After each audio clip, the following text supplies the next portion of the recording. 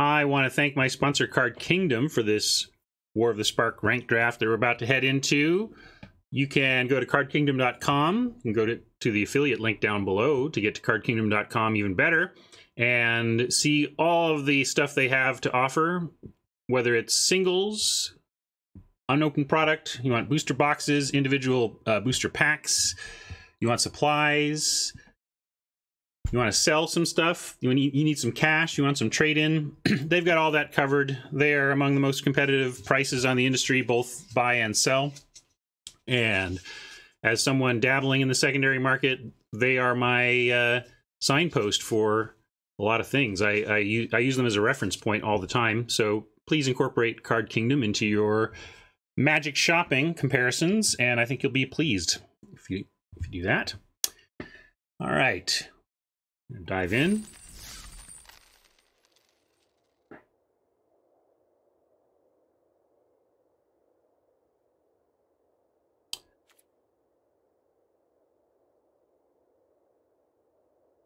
So uh, Zazda asks, just out of curiosity, why do people prefer best of one? Is it because it's faster?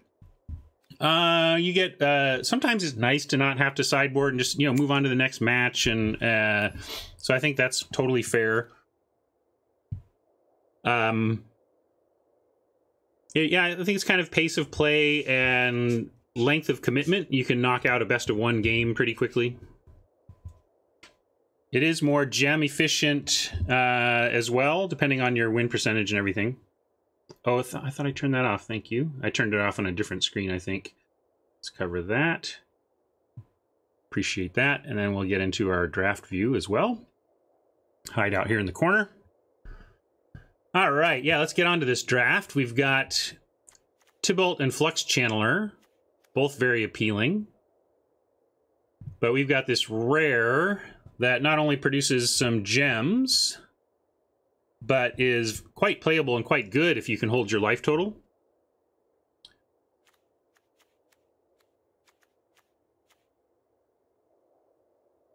Yeah, I'm both sponsored by uh, Card Kingdom and Wizards. It's they can they can co-sponsor me this week. I think no no problem with that. Sideboarding adds more strategy, but it's a little little overrated in terms of exactly how much. I mean, I don't know. I, it, not not nothing, of course, but I'm not such a purist that I uh, uh like am just anti best of one or whatever. I think it's uh, it's fun to bang bang bang knock them out. Anyway, we're gonna absolutely take the command the dread horde here, see if we can make it work, and if not, uh, happily take the gems.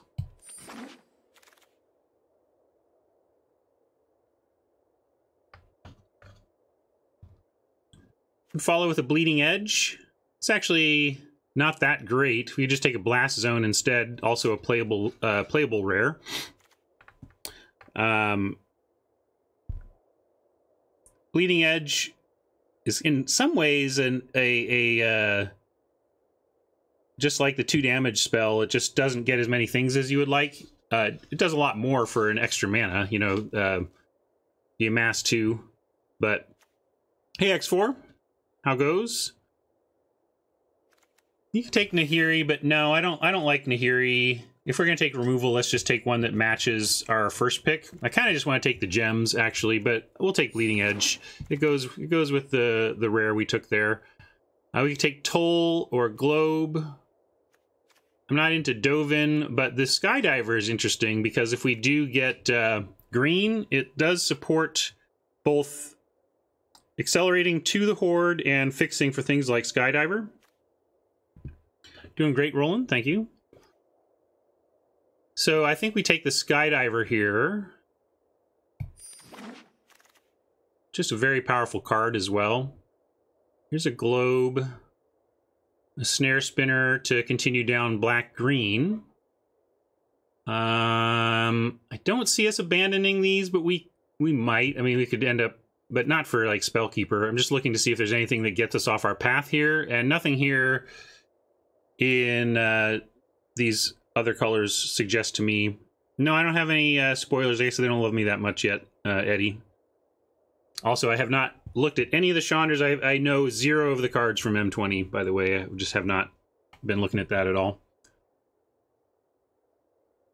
I think I don't want to take the weird here. I think we take the globe or the... Actually, I think the snare spinner is fine. Honor is mildly synergistic. Yeah, because you can discard stuff, but I don't want to go into red for honor here. I think it's globe or um, just the safe and sane snare, snare spinner.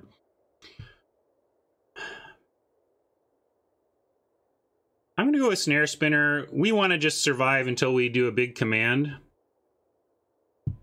Everybody seems to like the globe. Maybe we'll wheel the snare spinner. All right, fine. I'll take the globe because we might. I think we might wheel the snare spinner. We might wheel the other one. Sorin's Thirst is what I was talking about. Uh, Bleeding Edge and Sorin's Thirst are, are pretty similar, really. This Bleeding Edge gives you a lot of value for that extra one mana, but they still ultimately tend to deal with the same level of creature threat. But I don't see what we take here if not a Sorin's Thirst. I don't think we take this or this. Maybe we could take a Primordial Worm. Yeah, I liked the spinner. I don't know, maybe that was a mistake to be talked out of the spinner. I think this is the... If we're trying to get to command the Dreadhorde, spinners are uh, excellent for early defense. I guess I'll take a Thirst. We want better sixes than this. I don't love the thirst, but I'm kind of forcing our way towards the dread horde here, but maybe I shouldn't be. It's like looking like we sh we should be looking at a little blue here. So maybe uh, blue black splash the diver. We should take uh, take a look at the uh, signals we're getting here with regards to blue and turn in that direction. So yeah, I'm going to take dismissal and we'll start looking uh, for more signals of open blue. Uh, nothing costly here in terms of you know we can take a one of these artifact creatures and have a generic playable or price of betrayal which we probably won't main or an opportunist which we would grudgingly main one of. Probably just want uh, one of the artifact creatures. Reset press is down for the opportunist um, Yeah, maybe you can get a little bit of life back if that's what you're talking about, gaining gaining some life to make command a little better, but that's kind of a stretch to think that's going to impact our games too much. It could happen, but I don't think it's something to make a decision around. I kind of like the flyer, although we're in, we're we're leaning into blue, which means we'll probably get the flyers we we want. But I like Silverwing here.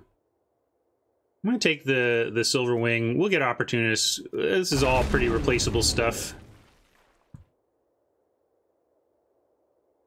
Well, I would much rather have the 4-5 that draws a card. 5 toughness is better than 5 power to me in this format, in, in these 5-4 versus 4-5 questions, and I'll, I'll gladly pay an extra mana to draw a card. But I don't think we're playing anything else here. I'm not going to main deck Price of Betrayal again. So we'll take the narrow playable,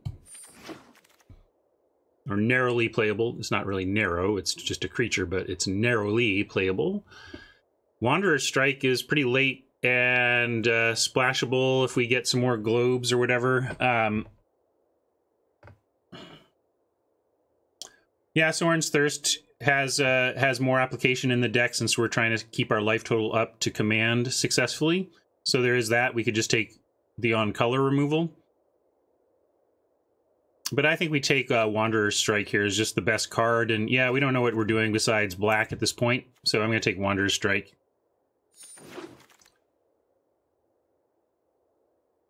Another Behemoth. Charity Extractor I've all but stopped playing. I, I played it a couple times early to see if it could do the thing we need to do. I've all but stopped playing This maybe is the deck. You know, maybe we would actually want it over a Silver Wing.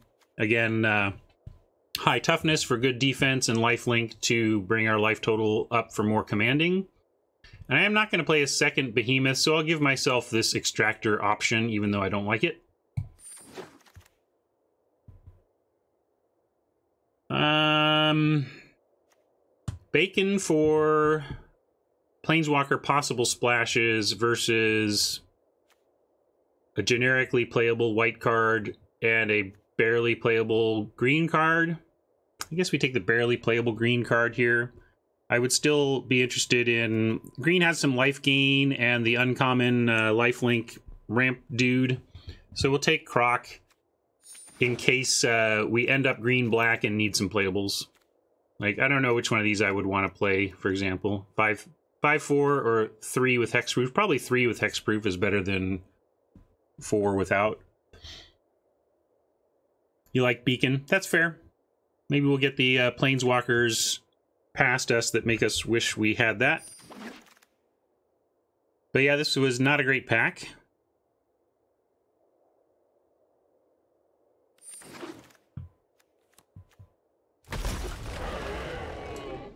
Feather, are you going to redeem us? I don't think so.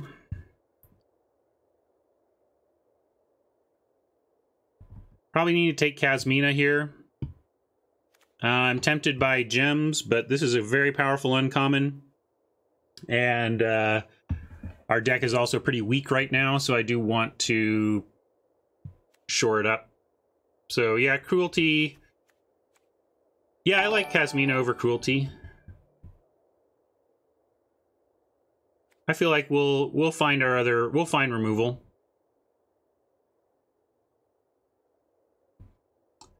Oh, thanks for that, Pretzel. Well, we could be blue. Uh, that's the thing. We don't know what we are. Like, I like, uh, like, this is not really an important card. This is a cool splash if you have a repeat source of green. One timing a Merfolk Skydiver, not that big a deal. Uh, we could take the cruelty uh, in the sense that. Sorry. All right. Uh, sorry. Yeah, uh, we are. We, we could take the cruelty in the sense that we know we're black and we, we're not 100% that we're blue. But we really did. Uh, yeah, let's get this out of here. That's confusing things, isn't it? The signals we got in pack one suggest blue might be kind of open. Yeah, the, the skydiver is not super relevant here, but we could, like, even if we take Kasmina, we could end up getting green shoved down our throats after this. And uh, yeah, I don't like white, but also, I mean, does that mean you want to take like Pegasus here? Like, I'm, I'm leaving Wanderer's Strike in.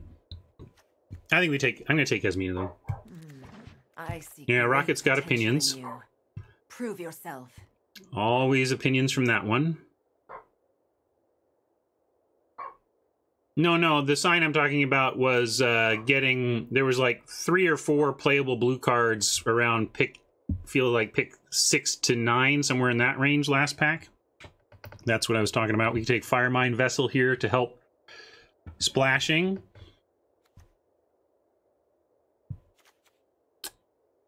Uh, that's not. It's it's not enough that Huatli is okay. I don't care about. I, I think Huatli. Uh, I'd have to be all in on Huatli, I think, before I cared about her. We're just going to take uh, the Thunder. This is the kind of card I was hoping to pick up in a, a black-green situation to support the command. You know, dig through the deck, get some life. Yeah, Firemane was on the table. It was definitely on the table, but we passed it. That's cool.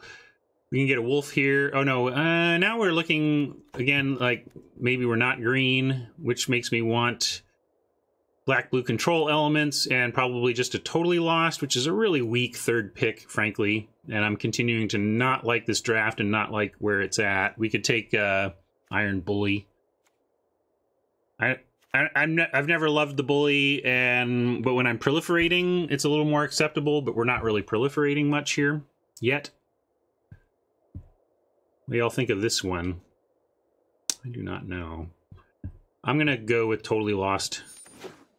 Hey, Remench. Good to have you.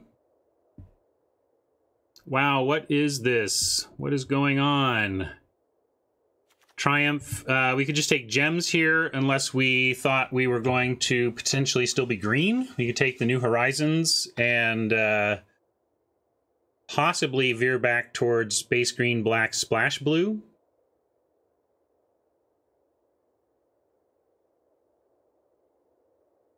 Yeah, I like what Re Reset Press is saying. You guys want Herald or Gems? Yeah, I, uh, I feel like New Horizons might backdoor us into a green black that'll actually let us have a complete deck. I am pretty unimpressed with what we're doing so far. I'm pretty unimpressed with adding a herald to it. But I know we only have uh, we only have one, but we can go get more. Um, and also eventually it becomes. I'm gonna take the butcher. We'll do we'll do gems. We'll take some gems. Who cares about herald? Herald's whatever. Giant though I like. I like the hedge on green or just taking gems, obviously, because that's what I did. Here we'll take another globe.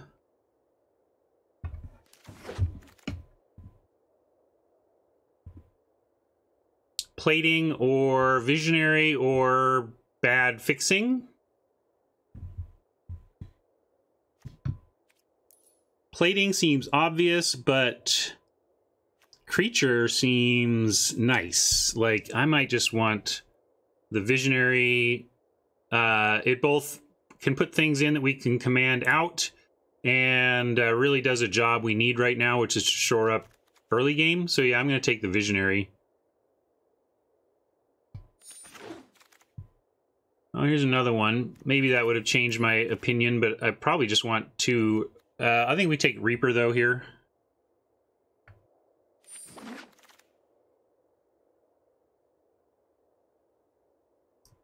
Really trying to get us to take Price of Betrayal. I suppose we'll take this one over another laptop. I don't think we're ever playing either of these. Oh, here, let me, uh, I can adjust the record and stuff. Let's get a little more clear here.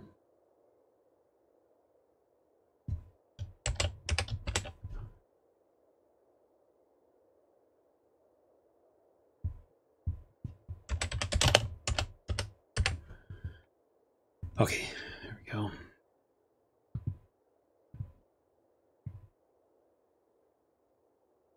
Well, I'll take it because I don't want a second behemoth, but I hope we don't play that. Dreadmalkin. I don't think we're a Dreadmalkin deck. We could be an Aid the Fallen deck if we get a Planeswalker.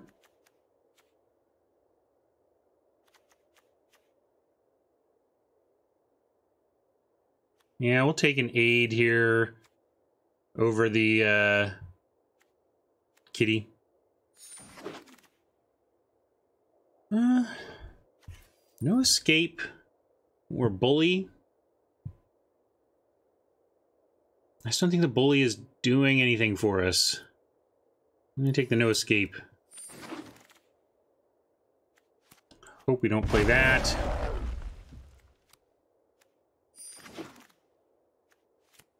Another behemoth. Domri. There's straight up gems, but at what cost, given how tight we are on good playables here? Reaver is the is the card we need. I'm never playing Bulwark Giant. Gems or Reaver here?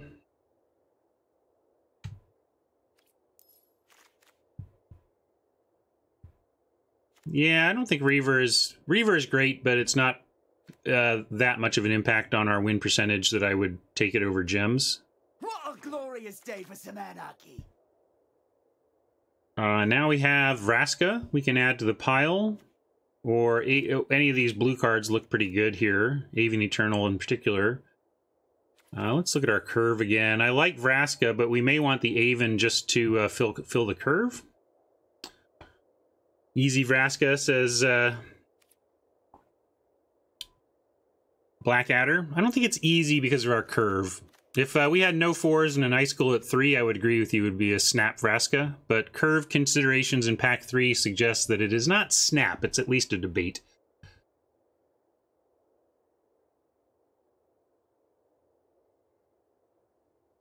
That's true. This doesn't really count. We hope to not play the charity extractor. So I, am okay with the Silver Wing. It's not great, but I definitely like playing it over the uh, Charity Extractor. So, and we do have Aid of the Aid the Fallen. We might want to get Vraska back, but I don't know. Hey, Smash, thanks for that resub. Appreciate that. All right, we'll take Vraska as clearly more powerful, but I uh, I am uh, thinking the Aven Eternal is a justifiable pick, but it's also I think it was pretty close. Life's about to end. Daniel, Hope thanks for the ready. resub as well. Appreciate that. Uh, here we could pick up a finisher for the three slot. Probably better than the Skulker, and definitely better than any of this going on. So yeah, easy finisher. Wow, look at this. It's just been...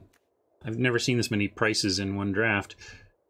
Uh, we could take the Gateway Plaza if we thought we had any interest in splashing this diver. Uh, but we have two Guild Globes, but this diver is not a great splash unless you have a repeat source of green.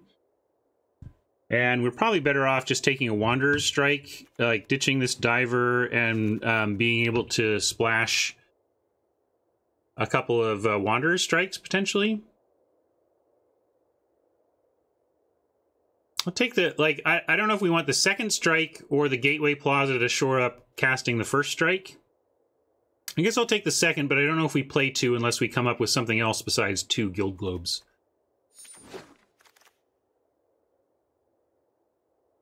More strikes. Uh, Wanderer.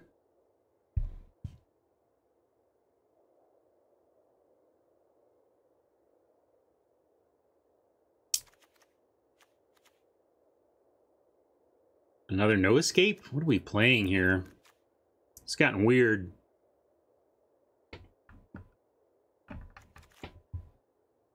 Oh yeah. Maybe we should we had to do that, huh? Yeah, we better try My and, and combo that off. as My sword.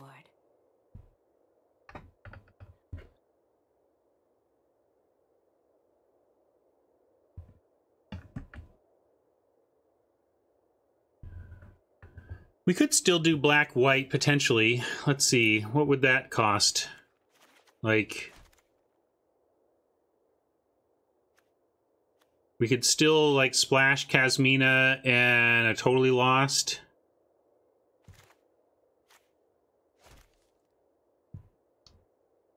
Well, I think it certainly justifies at least taking the populace here. There's not not nothing else to take. Yeah, we could also take uh, take the beacon to su to support uh, the Kasmina splash.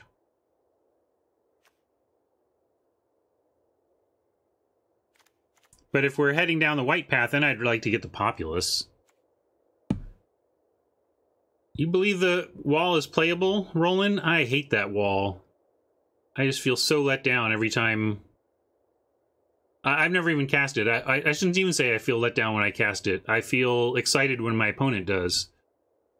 But uh, I respect your opinion, X4. So if you're telling me you're having some success, in, in what what role, what job is it doing for you that uh, that you feel good about playing it? I just don't like it against aggro because it doesn't threaten to kill anything.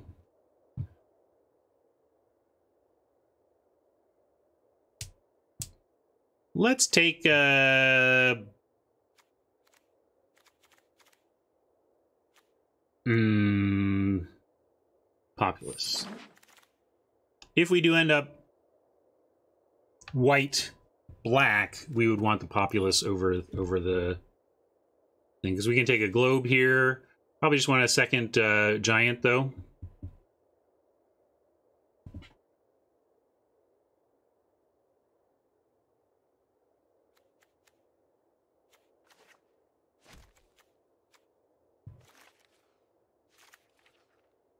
And then we don't have to play these at all.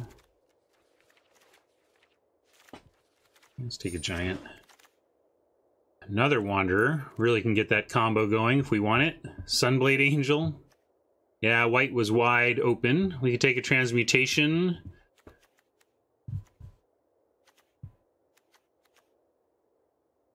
Hey, Lost Nightmare. Glad you could join us. You're not too late for the end. What are we taking here, though, folks? I don't know. Are we white or blue?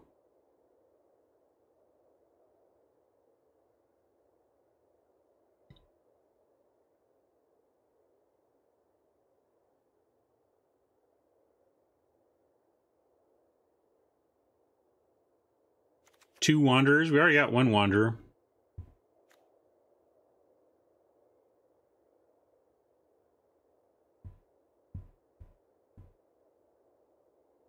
I'm not sure we want...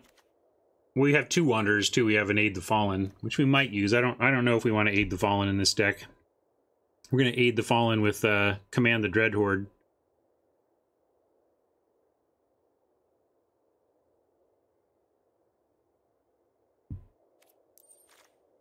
Tough one.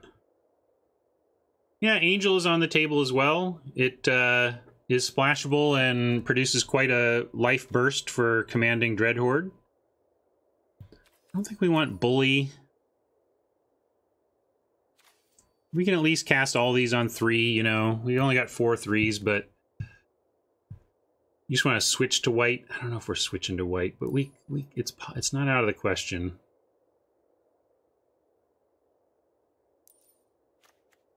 I'll take it on spec, though.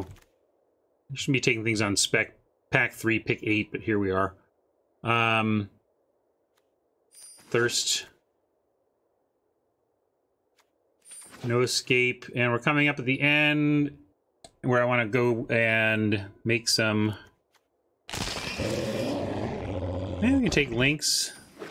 Maybe we are... Alright, so now I'm going to pause, and we have... Dreadhorde Butcher. Domri, I think we already have four of, but we have Dreadhorde Butcher and uh, Command the Dreadhorde to go and craft. So we're going to do that.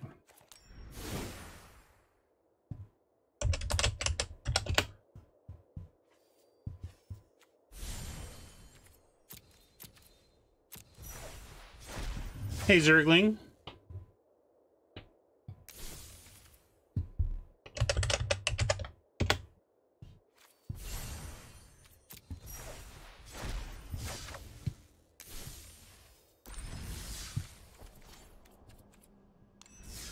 All right, now we can finish the draft and grind a few gems at least. 60 total gem grind, not bad. But something that is bad, I think, is this deck. I don't like this deck at all. What are we even doing? Let's see, we have uh, one, two, three, four, five cards in white. And one, two, three. Oh, this, this doesn't count.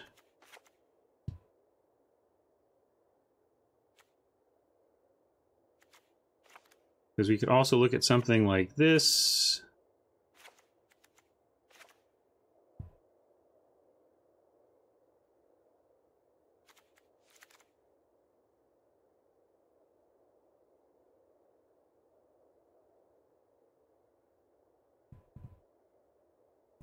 Reset press. I uh, I don't hate your prediction. No worries. No no. Uh...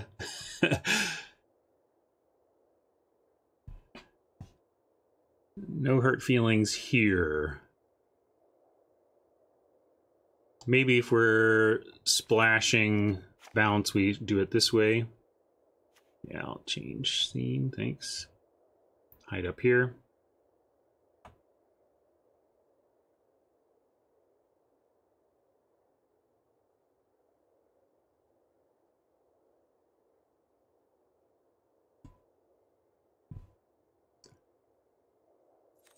Uh, no, I don't like this card main. Should probably find something else to do. We can, if we're, if we're, well,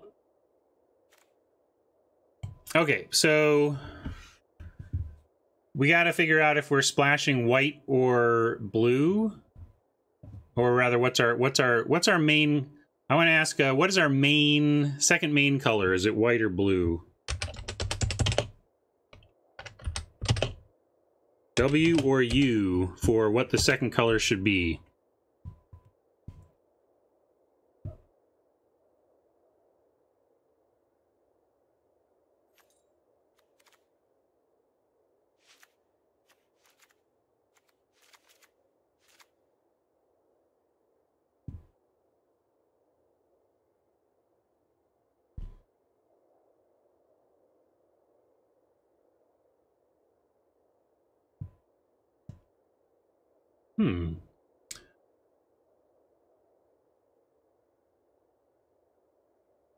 chat wants to start, will you start white then? Let's start with the white build.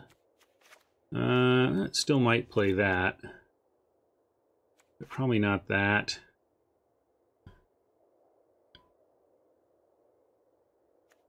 Is this the only thing we got? We have two guild globes for our splash. Do we get, uh, we didn't get the beacon, did we? No. Hmm.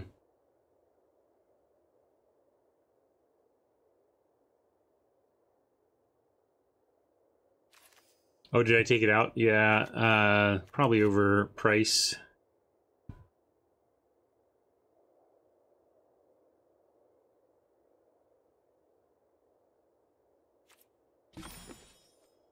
Only nine creatures in this bad boy.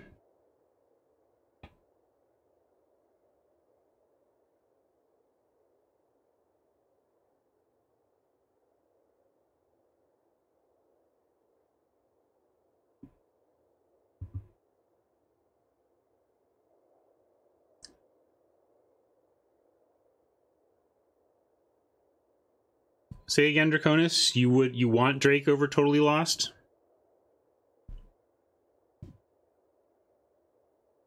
Down a thirst for a Prismite. Are we in a Prismite situation? Ugh.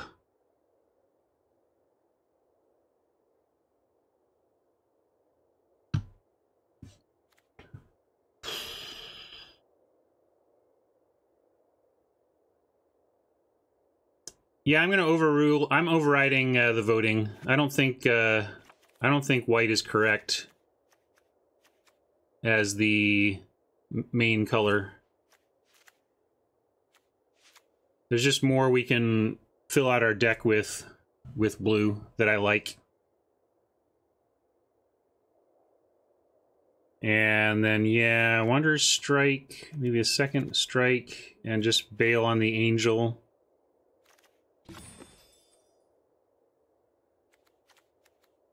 Unfortunately, uh, Wanderer's Strike is a real nonbo with command. Like, we want to kill stuff and then get it back. Uh...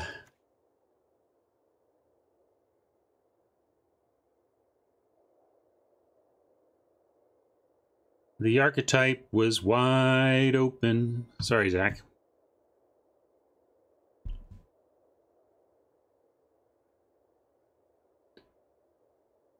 Uh, one of the reasons we're running the Wanderer is that it combos with uh, Command the Dreadhorde, because Command deals damage.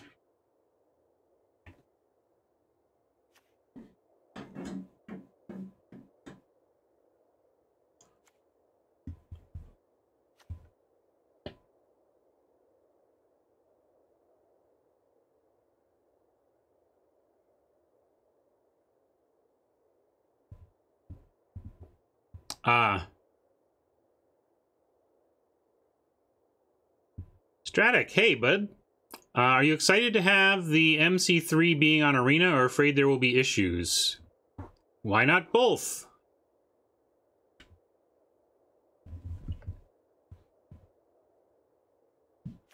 If we get rid of a second Thirst for an Angel, which was suggested, then we definitely have to play some of both lands. Play some, play a couple of Plains.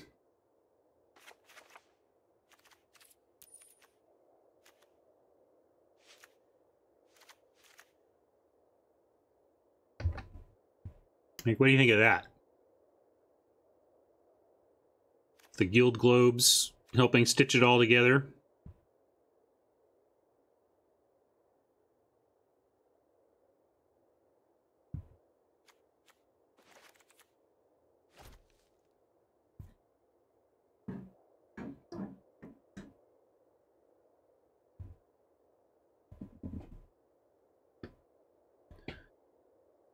Yeah, not duo standard. I don't know much of the details though, Stratic. Are they ready? Probably not. Will they learn from their mistakes? I hope so. Oh yeah, maybe we cut Aid the Fallen. We have uh, Wander and Vraska, so at least we have a couple of uh, a couple of walkers. We could cut it for that second thirst. You put a second no escape in. Thanks for that sub. Five month resub. Thank you, Fellhammer. No escape at least doesn't ex. Oh, it is exiled. See, I don't want to like. we have have a lot of nonbos with our command, so I'm just going to keep the two thirsts here. Uh, So I've, I, I like naming. Uh, I somebody on uh, YouTube was suggesting or asking for me to not spoil the results of the draft in the name, but it's how I've been naming stuff, and it I like it better than just a cold, heartless date to differentiate the different titles on my YouTube stream. I don't know. Let's uh call this uh splashing around.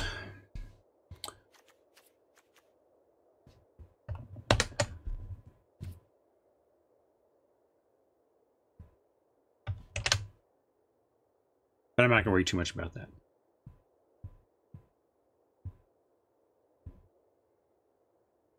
You want to see how I'm whitelisted, Vaporkin? I'd love to. Let's find out that I'm whitelisted. I'm in.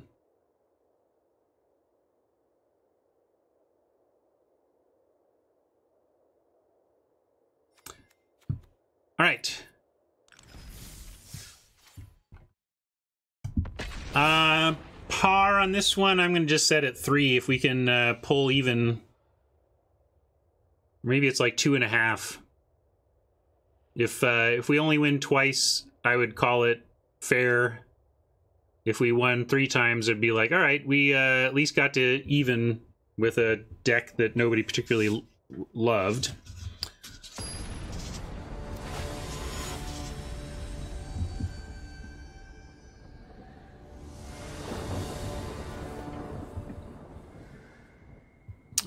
Keep.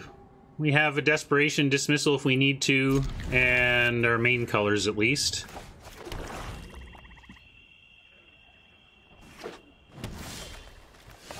Globe is cool.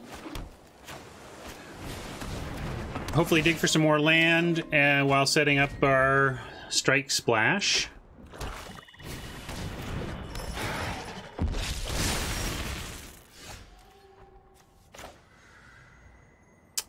Not finding the extra land, instead finding our big drops.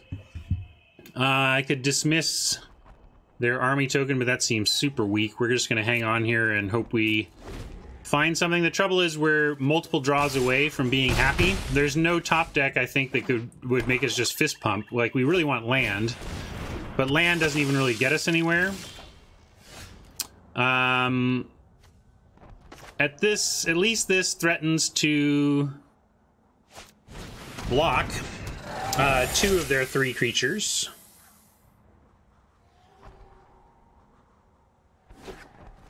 It is both fat and it drew uh, an unusual percentage of its fatness, but it definitely has a high end. So, all right. So they didn't send in the opportunist. They are willing to send in the Reaver. What does that mean?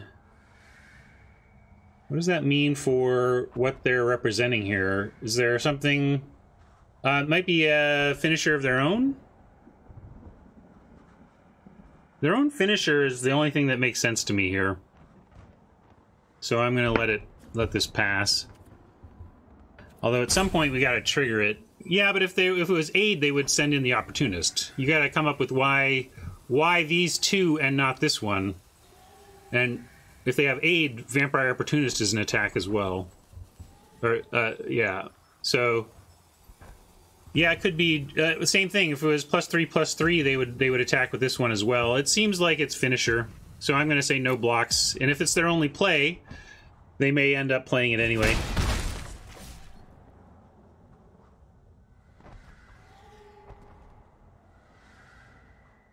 More often than not, if you come up with the line that made sense, it's it's it is what happened, you know. Uh, yeah, thank you. We'll get to the battlefield scene.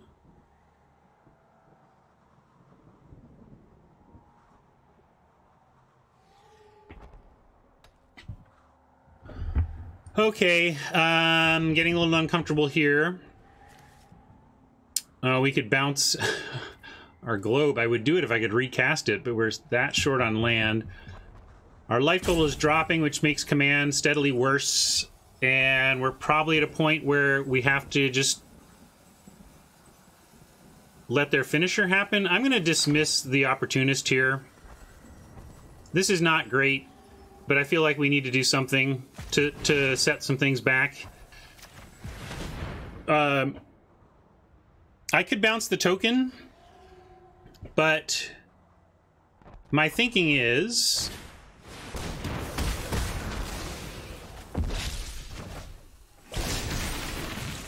our token threatens to trade with their token, and I want to I want to use Callous Dismissal to disrupt their play in a way that causes them to respend mana. I didn't want them to I didn't want to do that. I wanted to make them respend mana.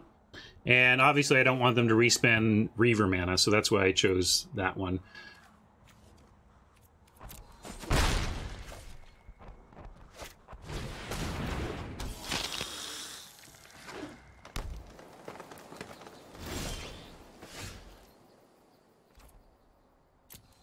Not coming up Millhouse for us here. But we have a no escape. Maybe we'll catch something. They try a giant here. We'll pick, snap it off. It's got a scry one too, so if we uh, do anything that allows for that, that'd be great. Yeah, I'm to offer this trade for trick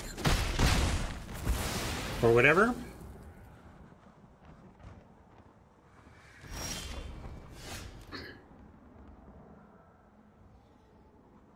I see how it's to be, deck. I see how it's to be. It's alright, we're uh, getting the giant in there for Dreadhorde.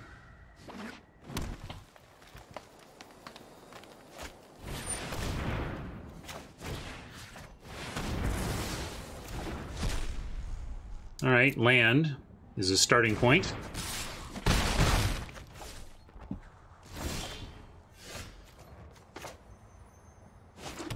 Well, we were guessing at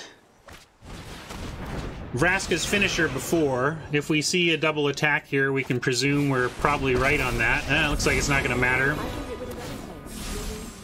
I don't let anything slip through the cracks. Other than myself, of course.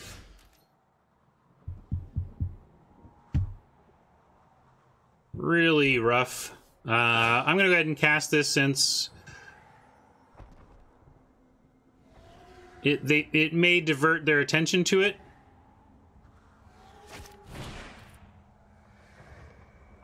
Uh, Hector, I called that out. I called out that Nonbo in uh, the deck building along with our double strike. We have a bunch of. Uh, we, we have three command Nonbos. It's not a great command deck. That's true. If somehow the Wanderer survives.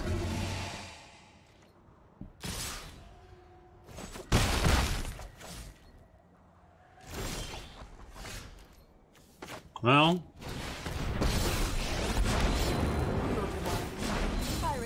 It doesn't do nothing.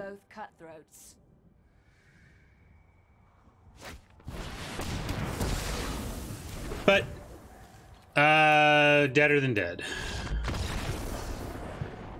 Yeah, maybe we need an 18th land and I didn't properly uh take that I don't want to uh, be results oriented and adjust the mana base just because we got screwed there, but we can take a look at our high end and say we have, uh, like maybe cut the behemoth and just add a.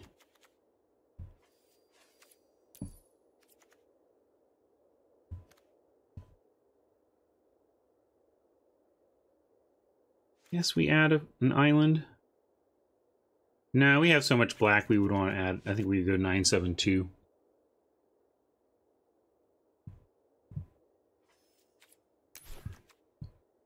I don't know if we need Naga as just an early body. Maybe we maybe we do over no escape and, and we're just trying to trade stuff off.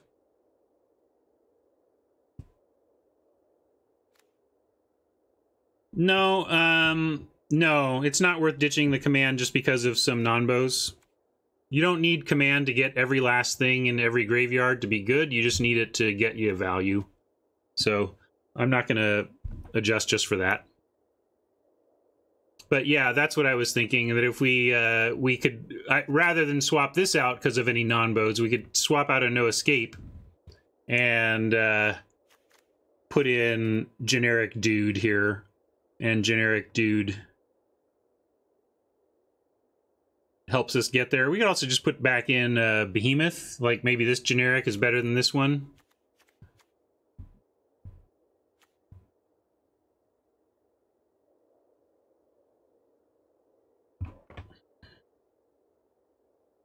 Yeah, I mean, you don't want to overreact to a bad draw, which happens. But I think this is a reasonable thought given the circumstance of our deck.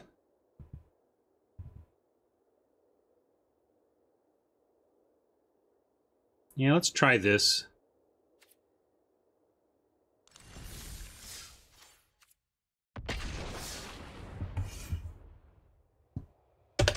Trying to scrap for some wins with this one. None of us are pretty very pleased with this deck, so set expectations. Oh yeah, one of the things I oh man, uh, it seems like people like the LR appearance well enough, but I left thinking there was a million things I meant to say and didn't and forgot to say. And following up on Marshall's comment about expectations was something I meant to talk to because uh, I was reading about happiness and how studies are showing that like expectations are really what drive happiness. That so if you keep your uh, expectations low you're going to be a happier person in general. Hopefully we get some value out of this bleeding edge on turn three hey we got our island so we also have a thunder drake on four but yeah, I would love to see a nice two toughness creature here from Oppo that we would, are interested in taking out. No such luck, but at least we're not under pressure.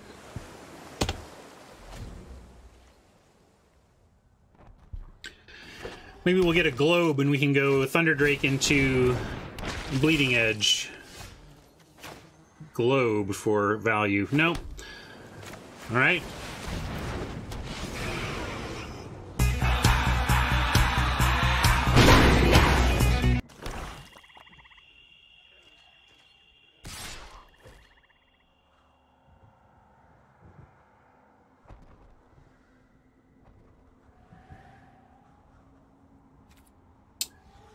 Uh, it's kind of a free attack for them, but I don't want it to make uh, their bleeding edge good or anything. We're just gonna say no blocks. Good, good bluff attack from our Zax. I bet it's a bluff attack. It's most likely a bluff attack, but it's a good one because there's just enough of a chance that they're making their Sorin's Thirst useful or whatever that I don't want to give them that.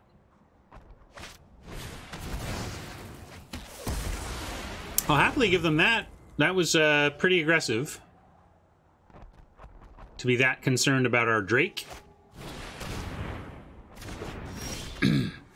that just seemed like a lot of wheel spinning to me. Uh, we'll go ahead and play a Plains and drop the Visionary.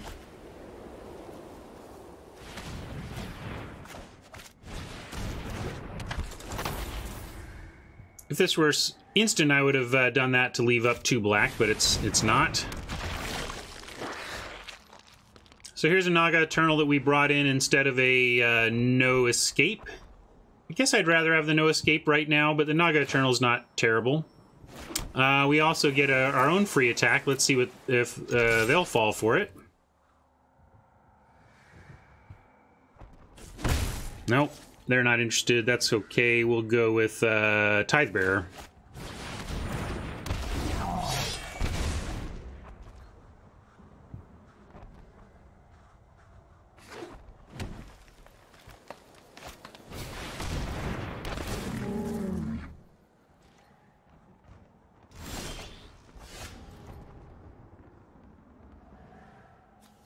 Again, no instant speed, so we can't get them in a double block situation. Uh, but we could loot before deciding anything, since we have the tools for that. I'm gonna loot loot first, ask questions later. And let's pitch an island and drop a swamp.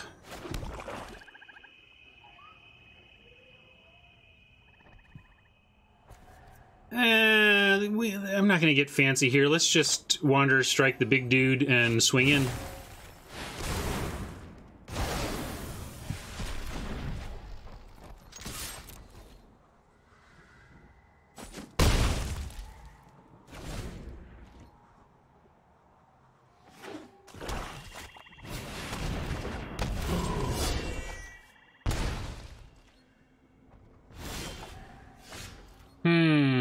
Let's see. So we have. If we cast Globe, we have seven mana. We cast Globe, that leaves us with five. Then with Globe and five mana, we can Bleeding Edge and Sorin's Thirst, which would allow us to trade. We have four, uh, five, six, seven, eight total damage we can spread around between these two. So I'm going to send in the Tithe Bearer, and if they double block, we get to do some uh, shenanigans around with these with these three cards to to clear their uh, clear their board. Yeah, we just have to be careful of auto tap.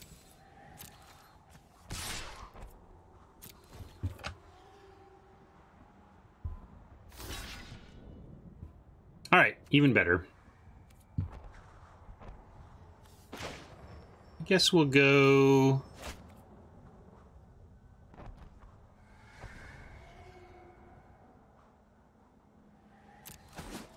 I don't know if it's better to do the Bleeding Edge or the Sorin's Thirst here. I'll go with Bleeding Edge, and then we can cast uh, the Naga Eternal and keep pressure up.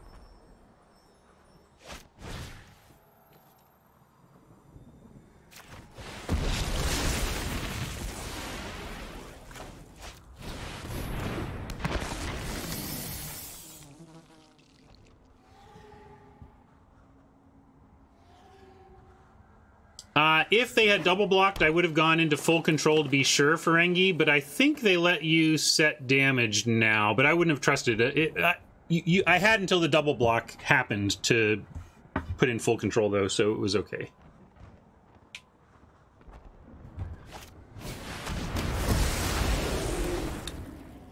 Well, just when you think you're rolling along nicely, Oppo drops a finale.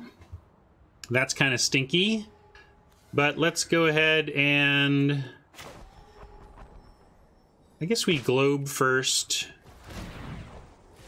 And then Vraska.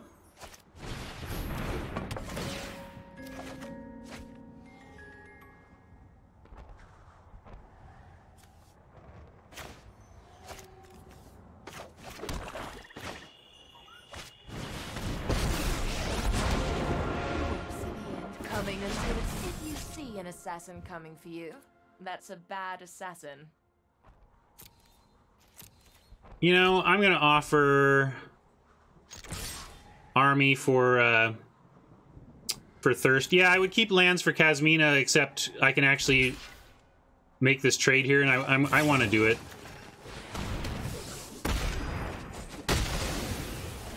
We'll keep lands from now on for Kasmina, but I actually did want to tap out there.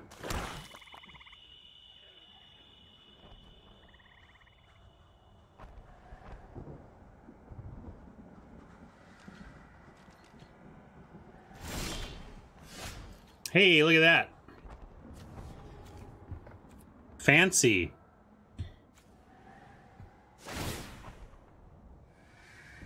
I'm an artist when it comes to murder.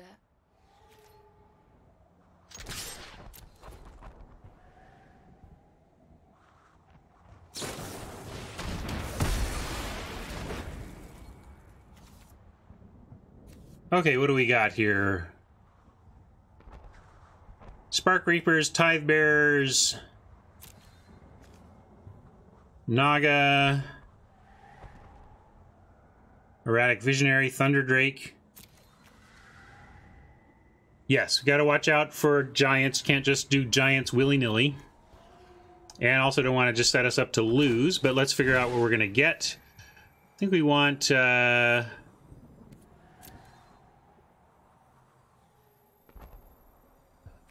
Seven, eight, nine, 10, 11, 12, 13.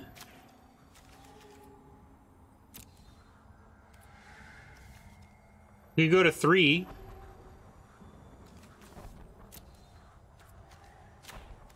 Yeah, uh, let's see.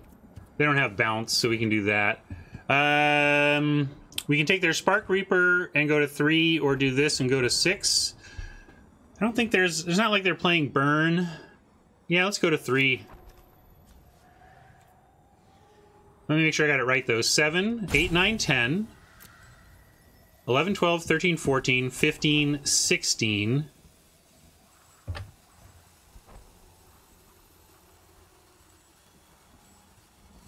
Yeah, we're not taking Naga, we get the Reaper. Okay, I think that's right.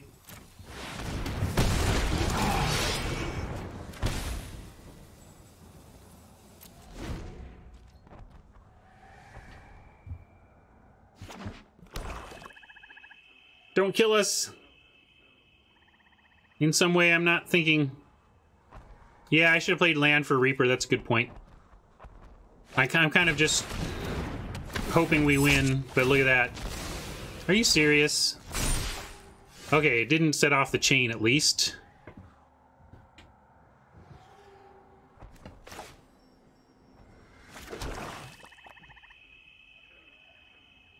Uh, but now we're in a little bit of a pinch here. I'm gonna go ahead and visionary now.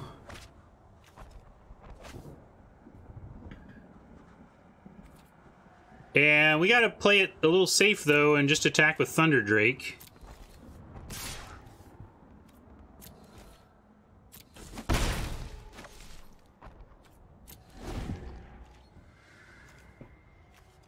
Oh, I can sack Vraska too. She's not doing anything else.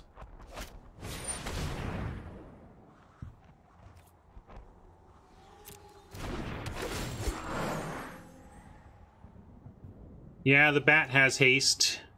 At least is only two power.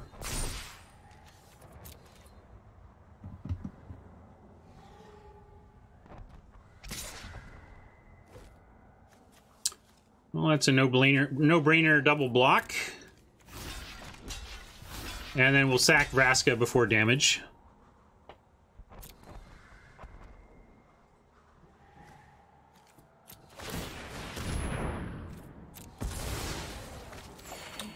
We could consider sacking something else, like the Visionary even.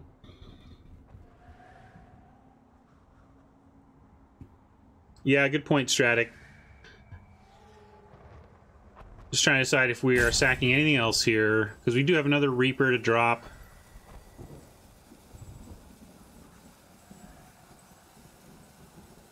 We're drawing to Kasmina, Callous Dismissal, Wanderer's Strike, Sunblade Angel is in the deck. Just stuff. Uh, I think we, like, I'll just keep the Visionary for looting. Oh yeah, good point. Reaper's not even dying.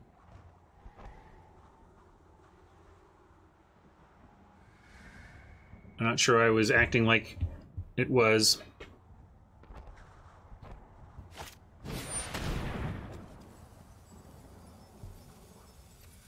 Uh, alright. Still doesn't wipe our board to play that, which is important.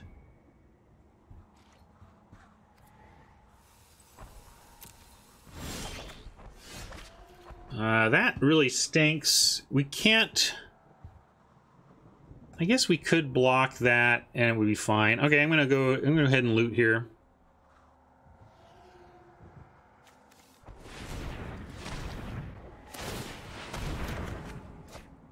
Yikes. Grim.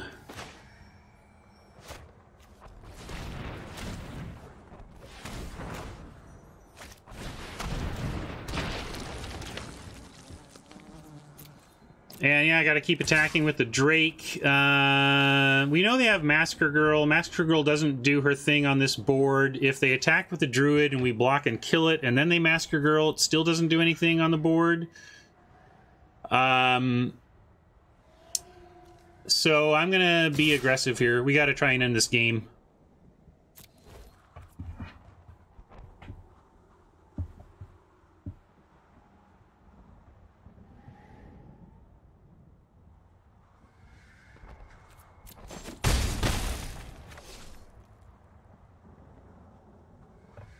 Yeah, I'll keep two cards in hand. I know, but we can't... Like, if they draw exactly a two toughness and blow us out, we were gonna we were gonna be blown out anyway, right? It doesn't change the it doesn't change the correct attack. That's you know talking on LR about avoiding tilt is focusing on what you can affect and knowing that they could find a two drop and wreck everything doesn't actually change any of our decisions, though, is the thing.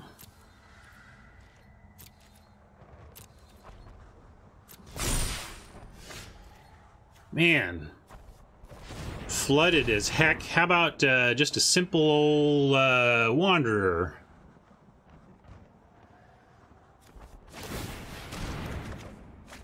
Hey, is it that easy? Nobody told me it was that easy.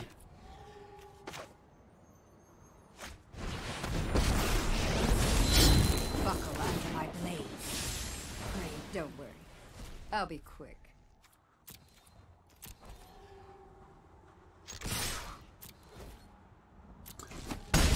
No, it's not Valhalla. I, I did not call upon my one time.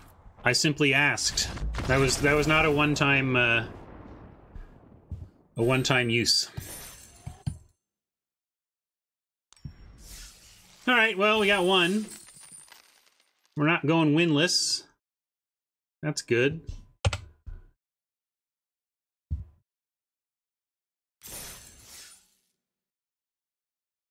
Held back the Drake in case of Shriekdiver, but we were at three, so even if they had Shriekdiver, we don't lose, right? So I don't I don't like playing around Shriekdiver when Shriekdiver Diver doesn't even kill us.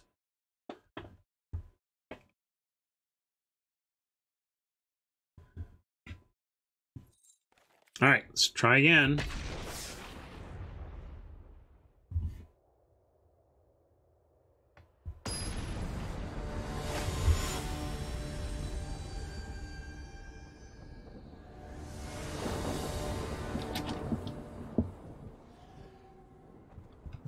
Uh, at this point, looking like I'll have a special guest on Wednesday, about uh, 10 o'clock, so like an hour into my stream. Uh, my neighbor Jerry Tycho Brahe Tolkien's is going to stop by and join our stream on Wednesday, so that'll be cool. Um, can we keep this? It's got a Drake, it's got some land, it's got nothing else going on. Ugh.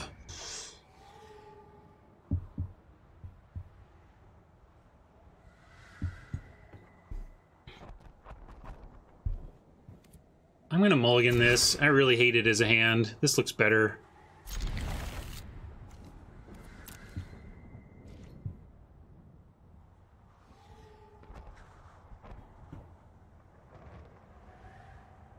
Not necessarily. We do have early plays, I swear.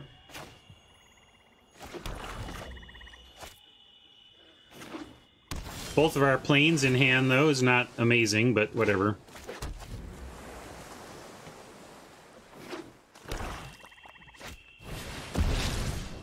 Ah, F you, Toll. That card. You think you're alright. You think you're doing fine.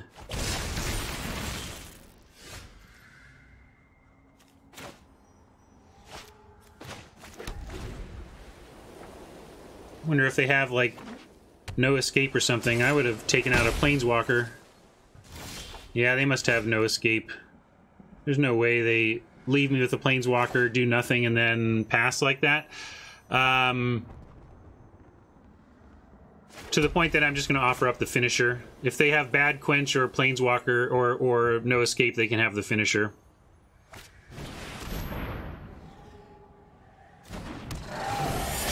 Pause, and they declined.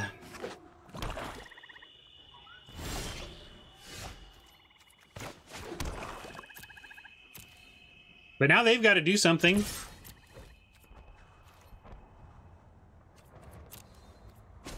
And we have a totally lost, so I'm not going to do anything.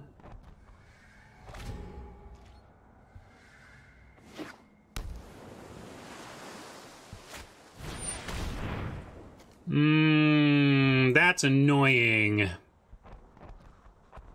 Wow. Alright, fine.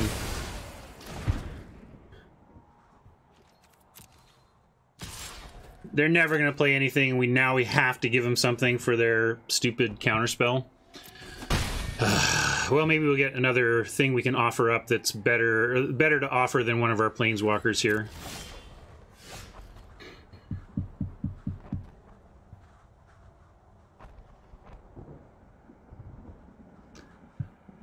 All right, I'll offer the Wanderer. No, we'll offer the Wanderer, I think.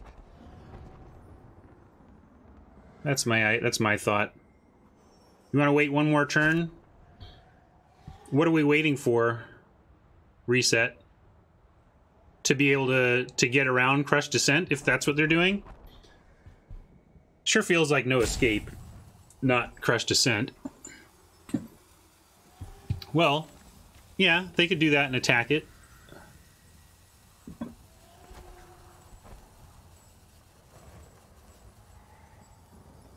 All right, I'll wait one more turn. Not not much is happening to us here.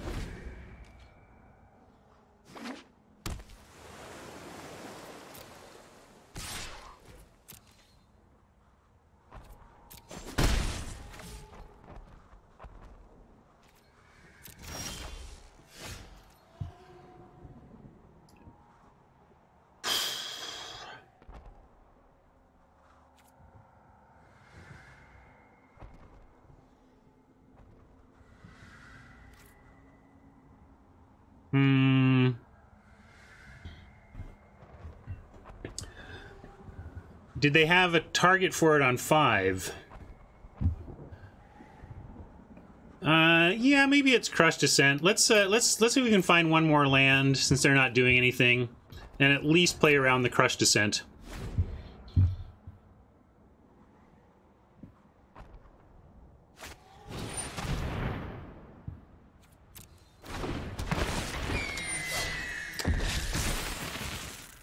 Uh, one thing I like doing here is we can let's totally lost this token, and we'll at least understand whether it's Crush Dissent or um, or whether it's No Escape. Because if there's a pause here, it means it's uh, Crush Dissent, and if there's no pause here, it means it's No Escape. But they may not. If it's Crush Dissent, they may not play it because they want it for the other things. So let's see. We're kind of hoping for a pause here because then we can draw a land and actually play around the counterspell, or Ah, it might actually be good for them. You know, if they crush dissent here, they get a 4 uh, 4, which is not great.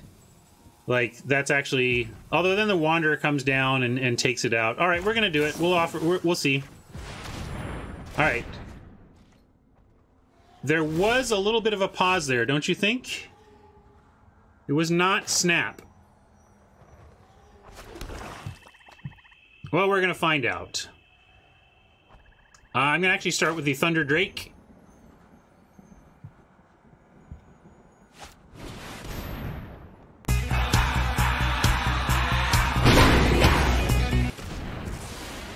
Alright, we've played around that for seven turns now. It's over with.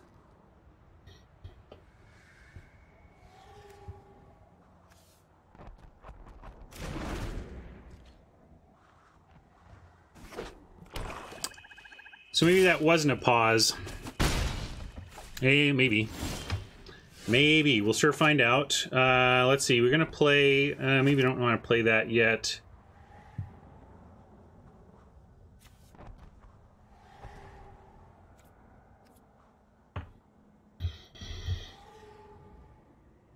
Yeah, I mean, we might just want to Wanderer strike the Eternal, but if we uh, play like the Wanderer and they attack it once, we can uh, strike the next turn.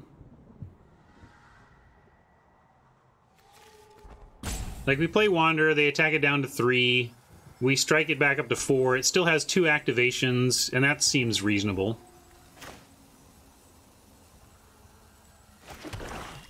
And then uh, we can drop two Walker. Yeah, we can potentially drop two next turn if we find a land. So let's do that.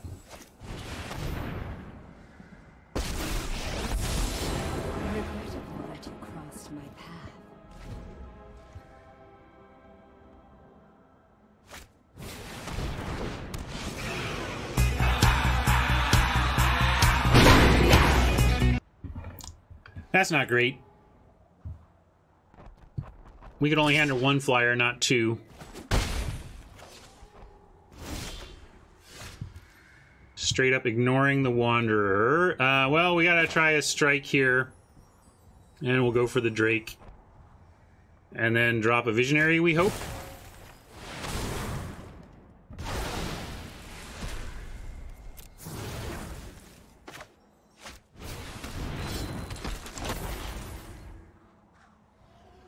Why let them swing on Wander instead of just activate it was two loyalty either way. I don't understand what line you were asking me to take. You wanted me to... I mean, there was nothing to exile, so...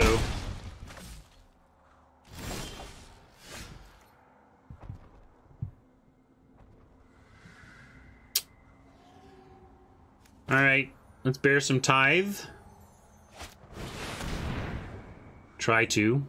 Are we gonna get bad quenched now? Alright. Well, that certainly helps. If we can land an angel.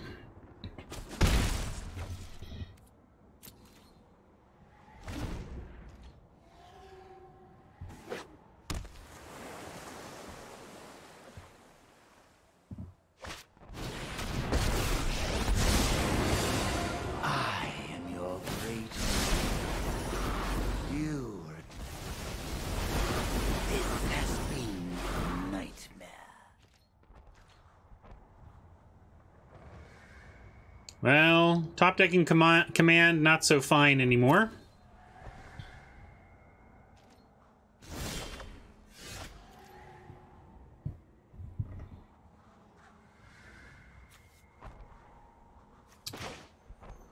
And let's see.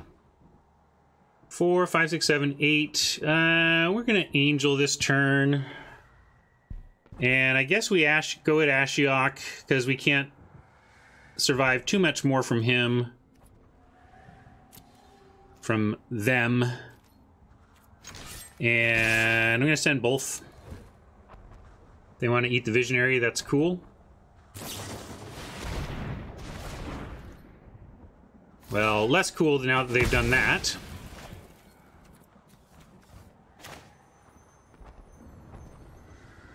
Yeah, we'll do this. And I'm gonna play, let's see, one, two, three, four, five, six, seven. Yeah, I'm gonna play the swamp. I know we have Kasmina, but off land we can play both of our walkers next turn, although I guess we're gonna draw no, we're not gonna draw that. Yeah, I'm gonna play this.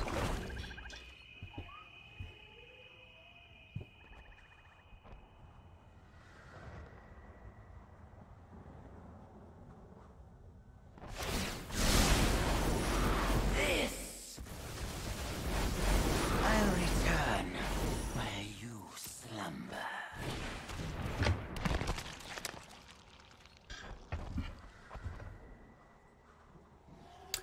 Well, they need removal or another flyer or something, or else we at least get to come through with that. If they, uh...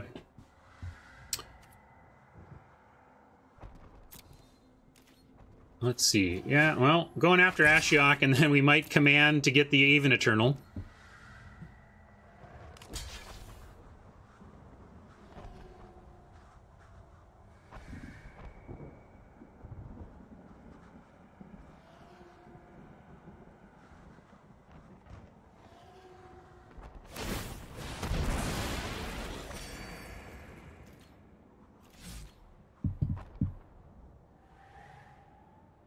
Yeah, we could also do Kasmina discard Vraska.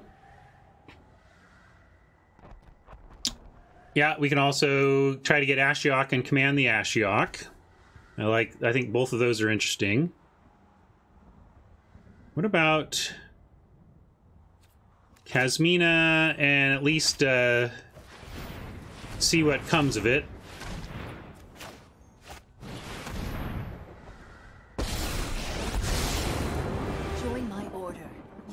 Is necessary in times of war. We are the future. Bleeding Edge or Vraska? I think.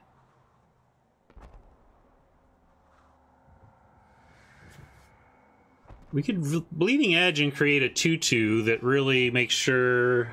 Yeah, I don't think we want to do that though. Could even ditch the the Dread Horde, but yeah, let's ditch the Edge and actually play Vraska.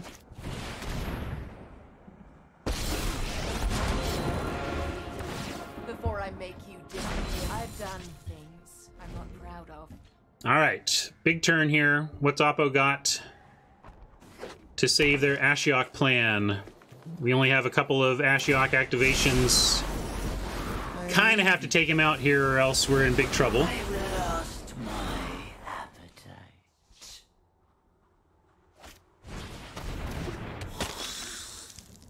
All right. So far, our angel is getting there.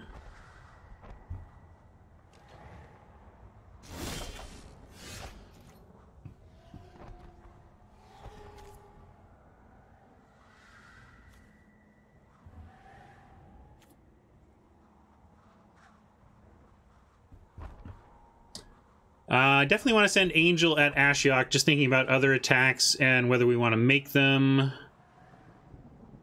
I think I'm going to wait on this stuff until we make sure that the angel has connected. But we can send in um, the angel at Ashiok and the Death Toucher, the assassin at them.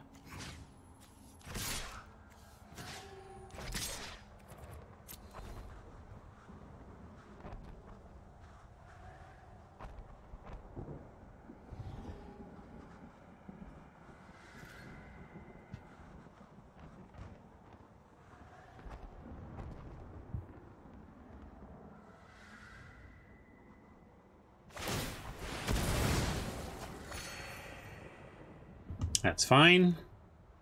See if they want to trade off with the token there.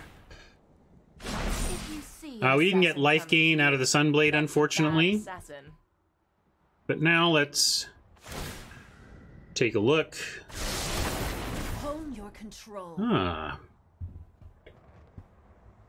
Ditch an island.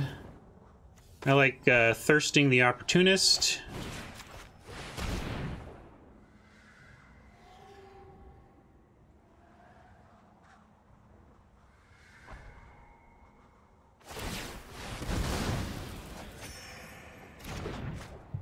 And now we can make one of these. And we get everything because it doesn't hurt us at all. No, we just do it right now. Right? Why not? Welcome to my world of nightmare. Behold, I always return.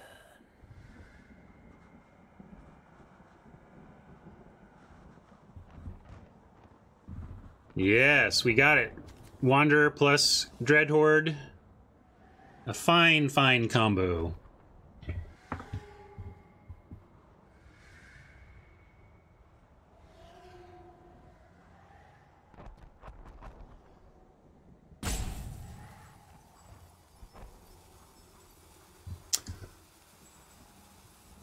Come on, Gert Jan, what you got? That was a tough turn.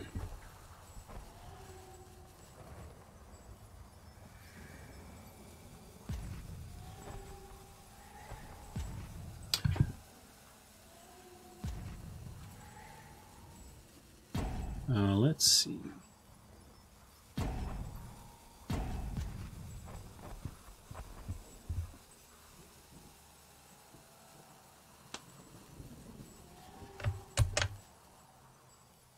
Hey Nick, I'm whispering you a link to a spreadsheet with a bunch of codes on it.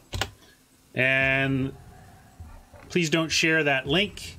But if you want to spread codes around to viewers and community members here who are making this place better for everybody, that would be cool.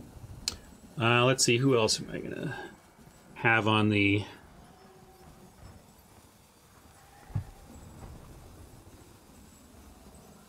Yeah, it might be uh, Salty Oppo. So be it.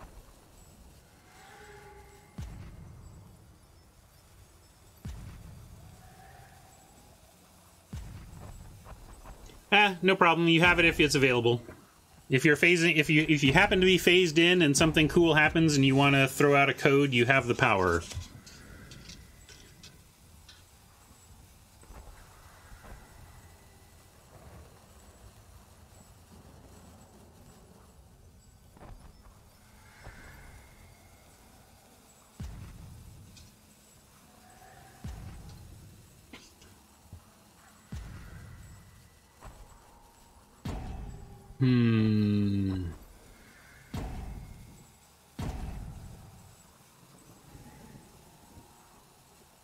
Have any other mods in the house?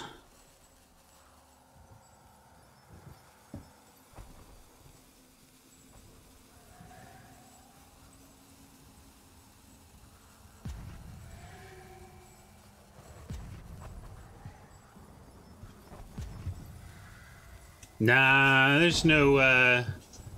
I mean, it's their clock. They can do whatever they want with it.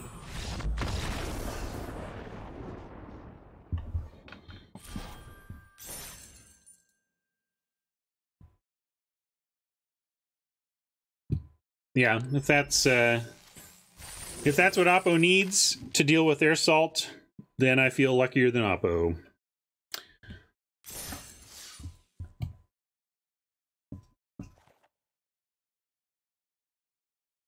Oh, here. First, I've been meaning so I finally have so there's all these tools that are not available in chat when I pop out the chat, but I don't have chat popped out, so I finally got to do things like that. Uh, like making Valhalla's Valhalla's chosen a mod. And I'm gonna whisper Valhalla's.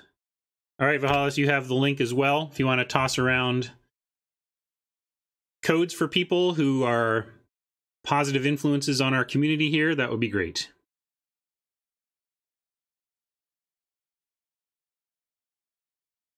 Oh yeah, sorry. Let me uh Nick is asking for edit access, but that means I need to go change that real quick.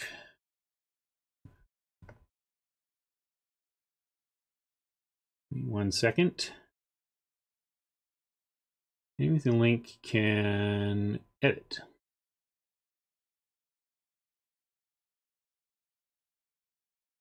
All right. Valhallas and Nick have the power.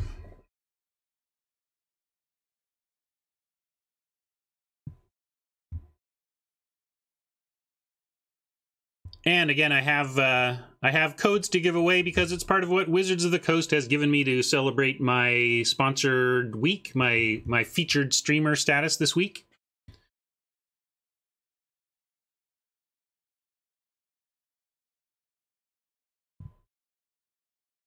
So thank you, Wizards, for giving me some stuff to throw around. That's fun.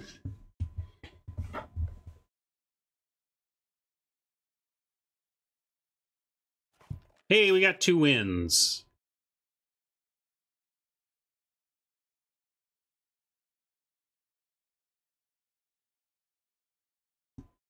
How exciting.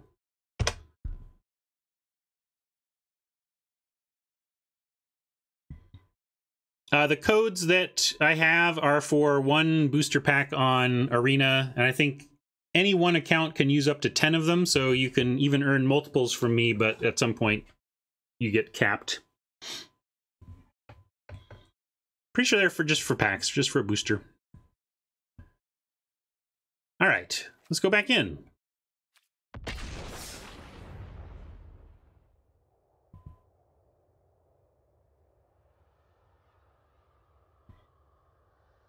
Now I haven't done that full comparison. I just want to actually just calculate the value of of boosters over time. But yeah, we could totally see. Could probably just Monte Carlo that and use the results so far to get an idea of how much or less, how much more the value is.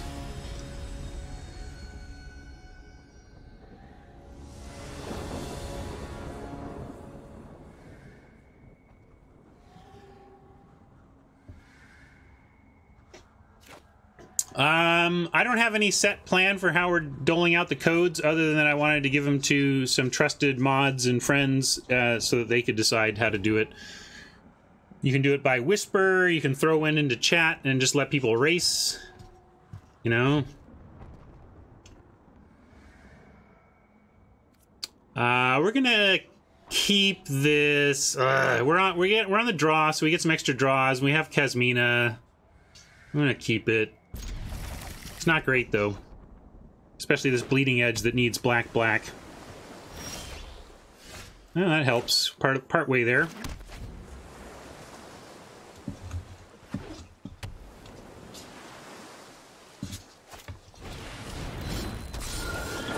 Conjurant on two. Going to play this swamp and hope, hope, hope that we find uh, another swamp before this Conjurant gets bigger. They might get bigger right now. Sometime. No? All right, we did it. Snap this off immediately.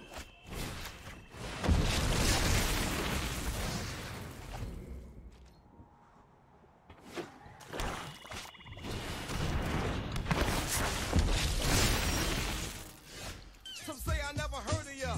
A rap burglar. Thank you, Hobbs. Appreciate the resub. Or the sub. Let's see, let's see, let's see. Uh, we can. There's nothing death, death touch or anything. Okay, so let's play a Plains and a Kasmina.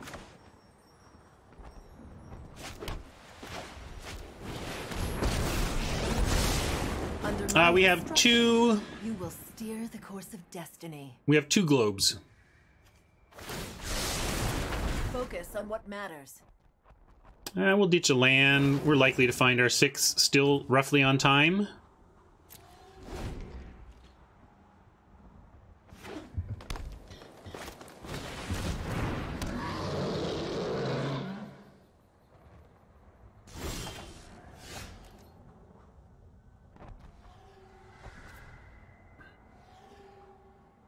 Well, I guess we Kasmina again, see what we find.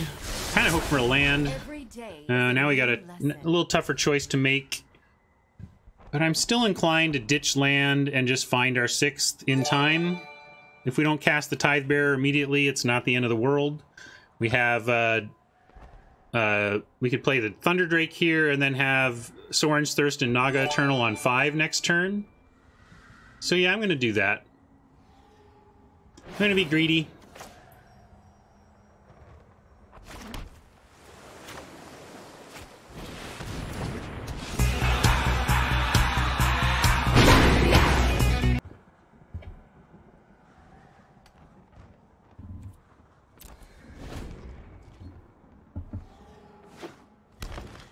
They might be ramping towards something big that we can snap off with the Wanderer.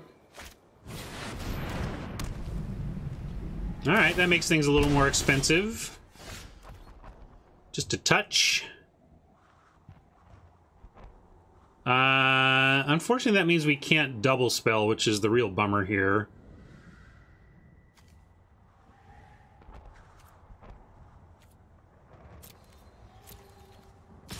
But we can attack with the Drake. It's technically beating the statue.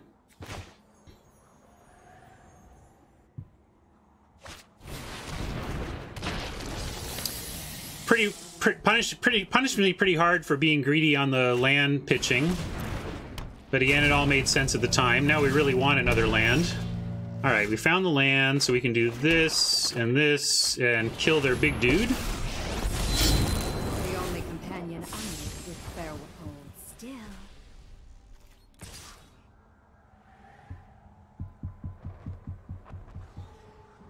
Maybe an argument for just getting in there with more than just uh, the Thunder Drake here.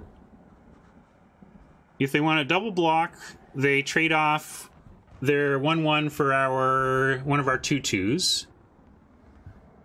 Um, it's not a great top deck. It's pretty for to spend six mana to oppress someone's spell cost is a little late in the game to be doing that. It, it certainly can have an impact, and it's you know it's holding us back from doing exactly what we want to do here. So there's no no question about that. But uh, it it's so if you quadrant theory it like you play that while you're behind and it's just useless, which is one of the major reasons when anything utterly fails at the behind quadrant in the quadrant theory.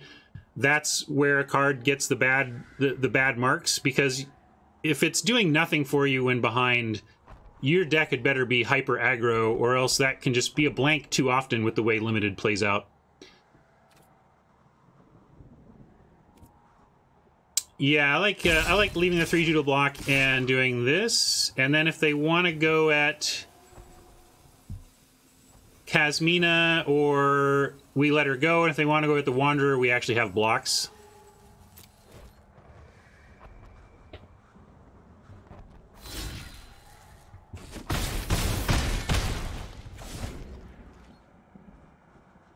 Yeah, it was a good attack. I think they they must be wanting to increase their army or something.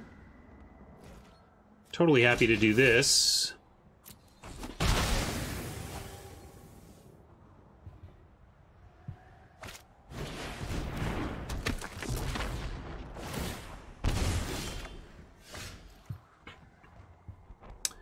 We can play Visionary and Sorin's Thirst, which is interesting. Uh, we can do that after combat and get double activation and use the Thirst to take out wherever they block.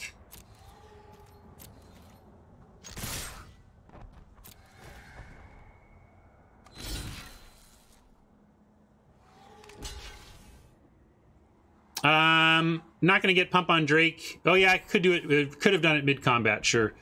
Uh, I wasn't thinking about that. But that's all right. We'll get. So they should be. We'll see if that costs us. Minor punt. They should be at nine, not ten. Oh, also almost decided to completely wreck us on the. Oh yeah, we we don't get both. Never mind. Never mind. Uh, so we're gonna just use the thirst. It wasn't a punt. It was only a punt in my brain to think that line was uh, possible to begin with. We'll go ahead and take out.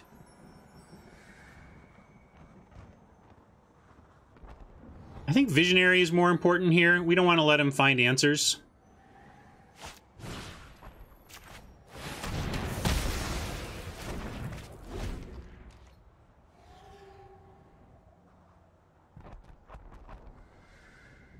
Yeah, it turned out not even to be a minor punt. It turned out to just be bad reading. If you see an assassin coming for you, that's a bad assassin. War is nearer than I thought.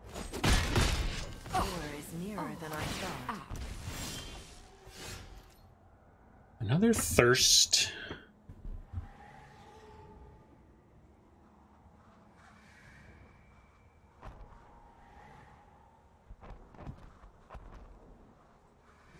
I guess we thirst the death touch and get him to two. No reason to mess around.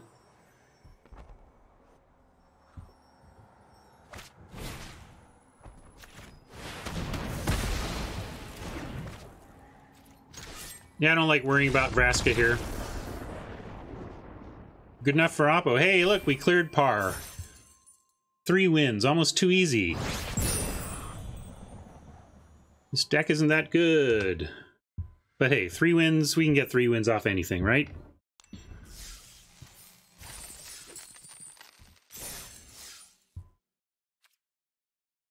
Mm, let's see, 10.3. Platinum is close. Uh, give me a short bio break and I'll be right back and we'll jump into the next game, all right? Hang on. Just a couple minutes.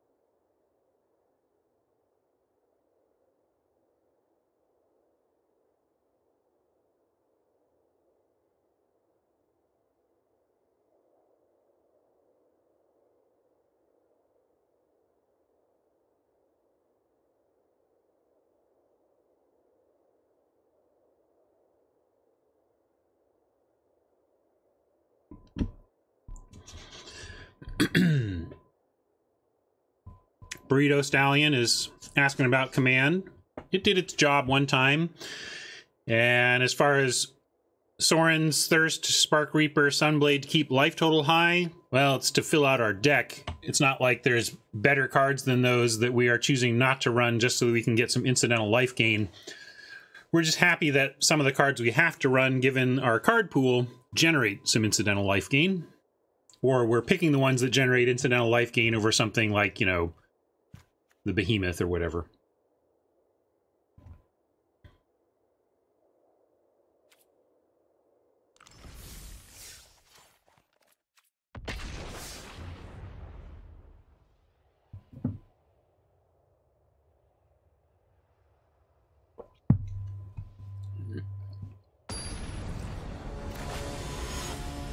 We're at a high risk of flood, but we do have a looter and we have a lot of high drops. Um, I want to be sure to cast our spells and our expensive spells. So I think if we risk some flood and let lean lean a bit on our looting, then uh, we'll be fine. We'll keep this. Of course, this is our two Plains. We have exactly two Plains in the deck, and they've decided to show up here.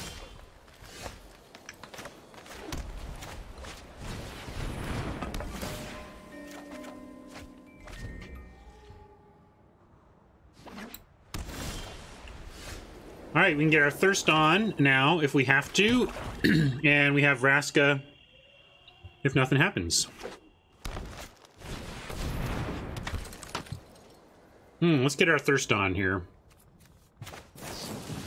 It means Vraska is not a guarantee for next turn, but I like it for the, taking out this populace while we can.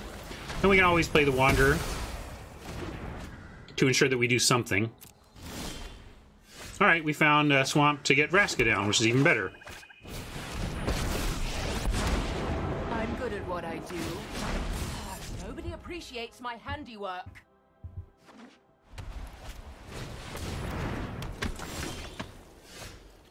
Another populace. Here's some of the flood out that was uh, warned against. Um, deserve whatever I feel suits them. well, which do you want? You want to turn that into a 2-2 or are you going to take it? All right, they're taking that. Keep your friends close. Kill your enemies.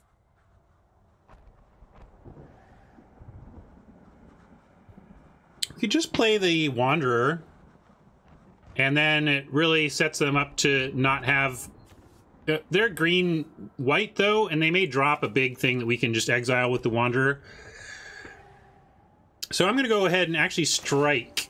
Um, you want to you, you want to save strike. Uh, MTG Viz is super greed and wants to save the strike until we can proliferate next turn onto both tokens. I don't think I'm going to be that greedy. Although, let's see. What's the word? Like, they might untap, use removal on this, and then just attack Vraska to death. In which case, we are pretty unhappy. I'm just to do it now.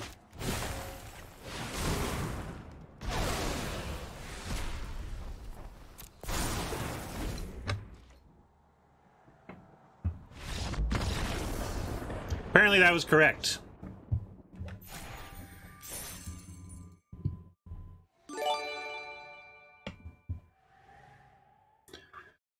Talking on LR about all the easy, the early scoops we see, many, many early scoops, and maybe they were disadvantaged there, but I hardly think they were below. Were they below 10% win chance? I don't know.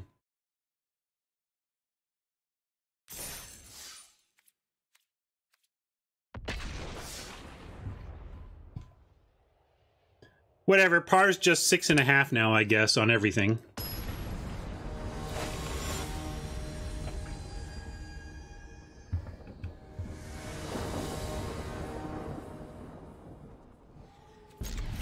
We'll keep that.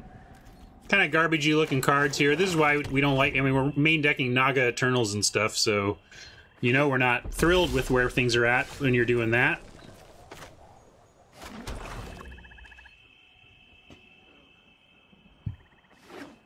What, we needed more proof that Vaporkin is always right? Um... let's play the Reaper here. Ah, we can just play the Eternal, I guess. Never mind. I'm getting fancy play syndrome. I'm, I'm trying to set up, like, if we Reaper, we have this 2-3 that can attack into things like 1-3s and set up Vraska's finishers, but whatever. We'll take Vraska's finisher value if we can get it, but we don't need to try and do any elaborate setup here. I just like throwing Naga Eternal in the way of this Prophet. Uh, this is awfully suspicious, but whatever. We'll take uh, trade. We're gonna trade for this Prophet, or we're gonna trade for their trick, or whatever.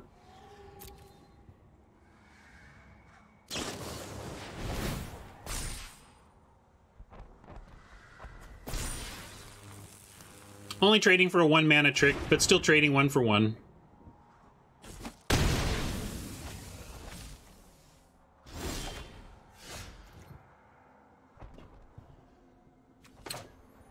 Uh, let's go with a Silver Wing, see what they've got coming, use all our mana.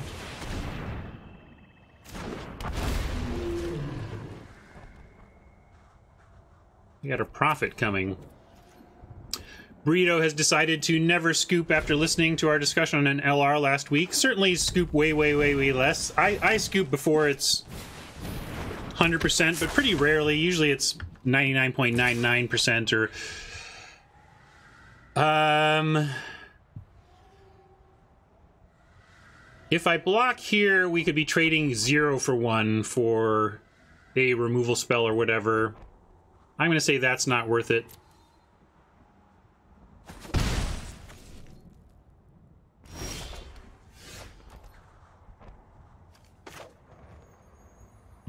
All right, I like Drake here with five mana. Then if we draw a land, we are two spells next turn.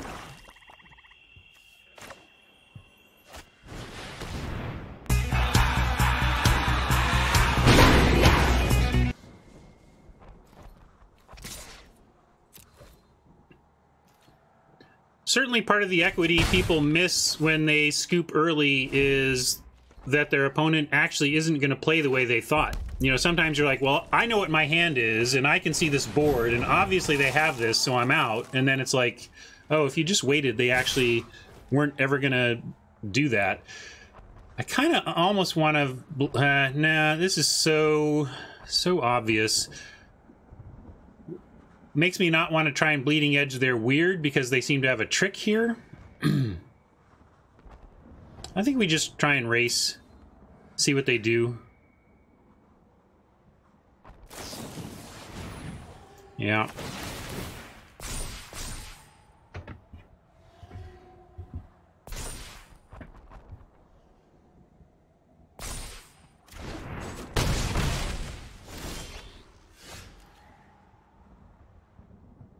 All right, well, might need to two for one ourselves to take out that weird. It's kind of two for two, really. We at least end up with a, an amass 2 2. Uh, but I think, and then we get a Thunder Drake as well. So let's Bleeding Edge and Thirst.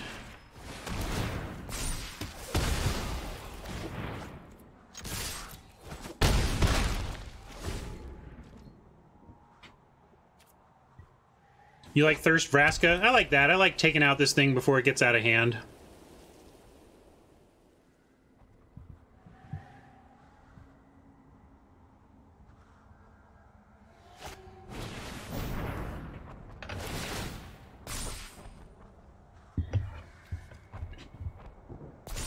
not bad for us. Uh, let's see where they go with these scries. Bottom, bottom. So they are not finding answers to our flyers. That's good to see. Yeah, good point.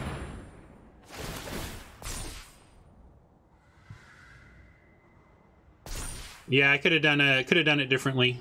I was think I was thinking of Vraska's finisher as um, combat damage based and how it operates, but of course the the damage doesn't need to be combat damaged. So yeah, we could have definitely done it that way. Uh, looks like we get Spark Reaper Dismissal here, though, which is a nice, again, two-speller that will uh, pump the Drake.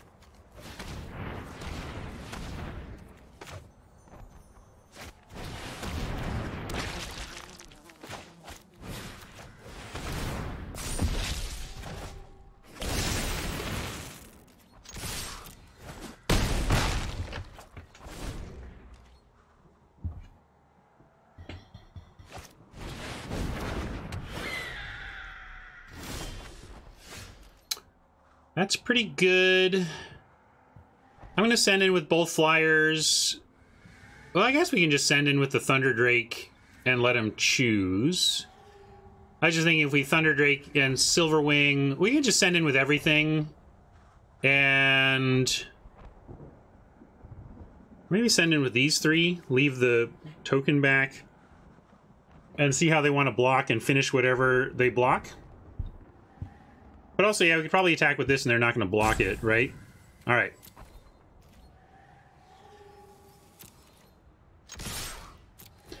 The team, then. The team.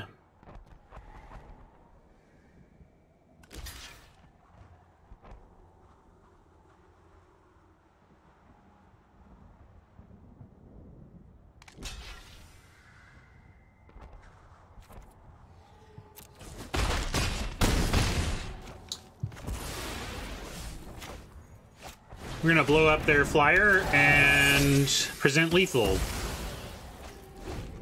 With the way they've been scrying, they need to draw something for the Thunder Drake because they haven't had it inherently. Alright, they drew something for the Thunder Drake, but we're, we're still presenting lethal, so yeah, looks like that didn't even matter. Magic is easy, I guess. Till it's not. You, I feel like my win percentage is much higher in best of one, even though I would think it would be better in best of three. Maybe it does mean that better players are hanging out in best of three or something. I don't know.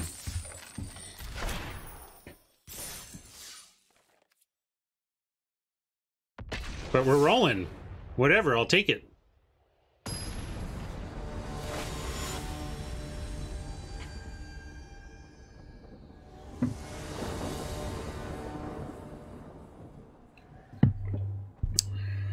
Don't like the four swamps, but I'm not going to throw this back. We'll keep.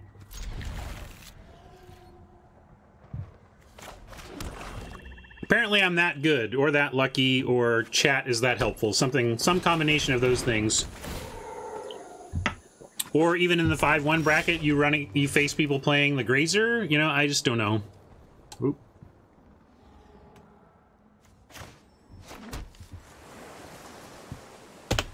I'll say this, it ain't 0% chat.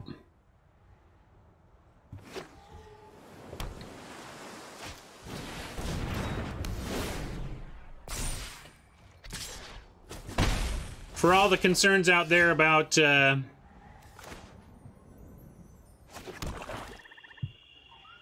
Oh yeah, code incoming, right on.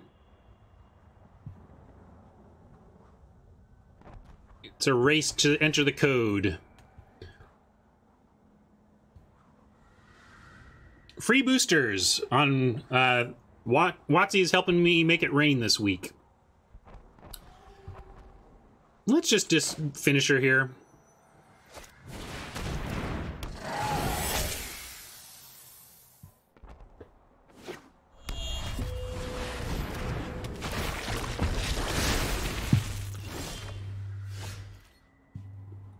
Well, now we have a Dreadhorde we're trying to get to. I guess we got to dismiss this, uh, the token. Hey, Oni. Not the greatest use of this, but I want to keep our life total up. I want to stay on the ground and threaten on the ground, so I did it. Hey, Oni. Day's going well. Hey, Oni, I have a bunch of, uh, a bunch of codes to give away. Free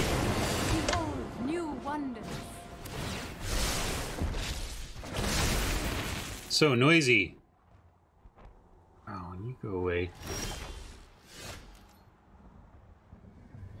All right, here we go. I'm going to whisper to you, Oni. This is a secret, secret link. Do not share, do not share. But you, Valhalis, and Nick have this link to this spreadsheet, which has code links on it. And if you want to whisper one to a positive member of our community or throw one out like uh, Valhalis did there just for kicks, go for it.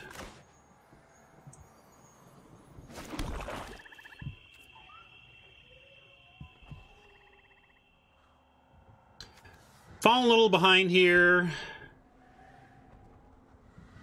but not too far. We're just gonna have to Get a Tithebearer Giant down. Maybe they'll kill it. We want some stuff in the graveyard, actually, for this Dreadhorde now.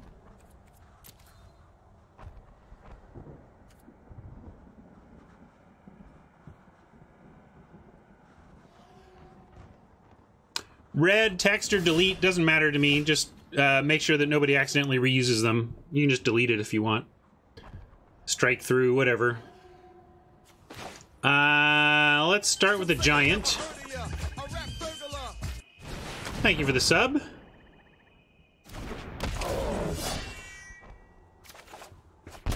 Yeah, I'm not sure what they're holding back here, why, but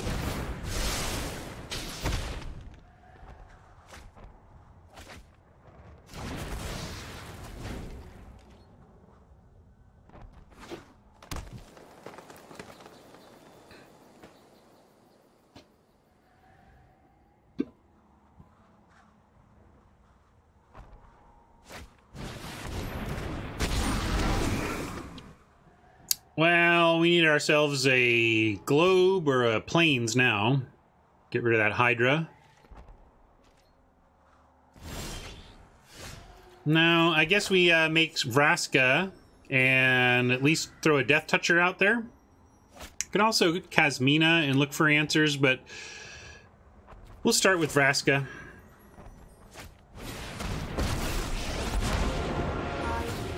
If you see an assassin coming for you, that's a bad assassin. Do we want to play the land? Let's see. We have six. Uh, if we had seven mana next turn, it might matter to like Kasmina. Well, I guess the question is, do we want eight? Is there potential for eight next turn that matters?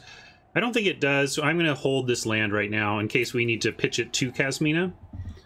But obviously, the big problem here is a nine-nine. We are uh, a lot is riding on this assassin living.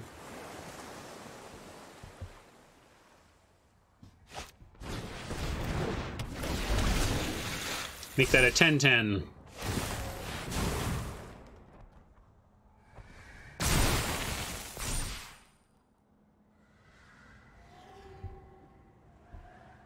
No codes for gems, just for boosters.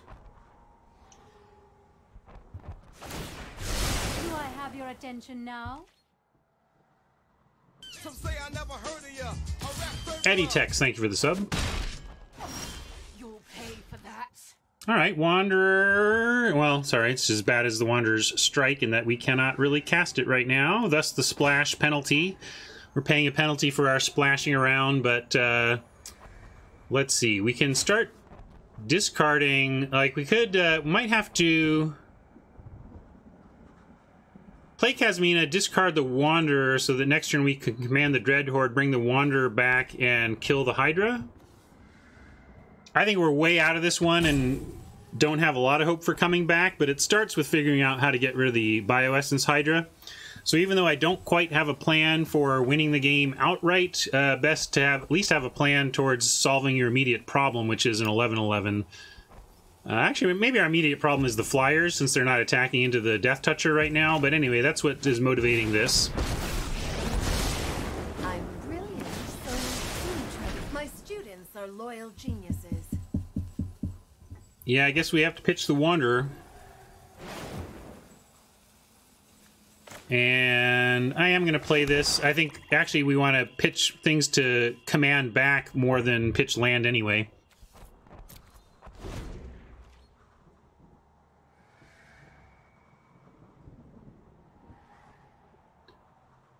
You can do whatever you want, Oni. I trust uh, Oni, Valhallas, and Nick if you're creative and fun, you can give away packs however you think is is awesome. It's a beautiful day for chaos, isn't it?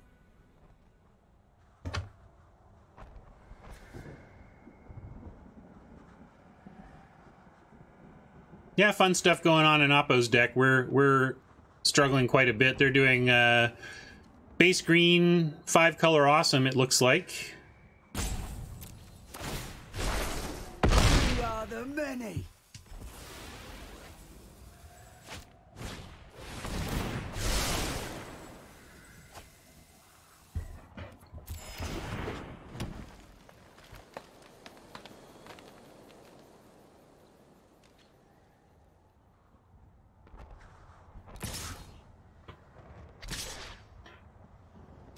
Yes, I think Oni's contest is now more interesting in this game than this game, but we'll see here.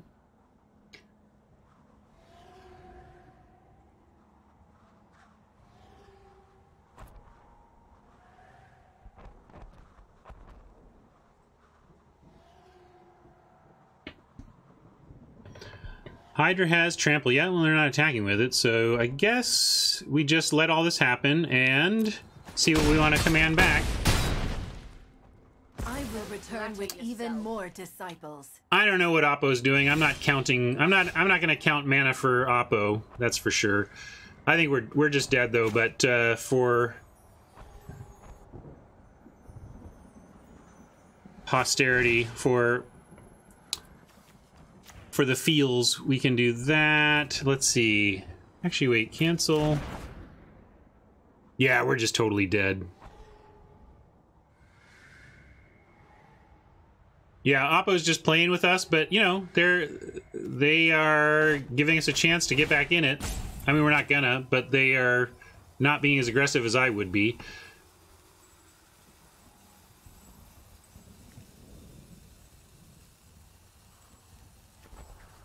Sure. Now let's do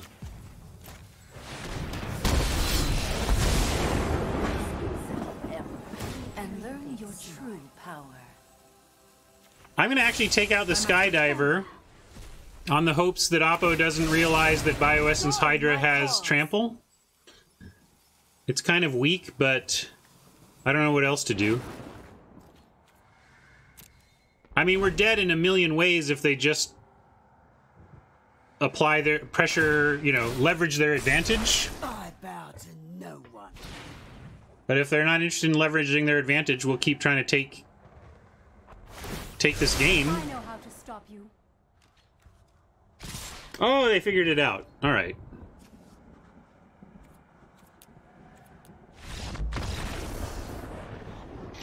Can't break my stride. I got five wins with this pile. I'm happy already.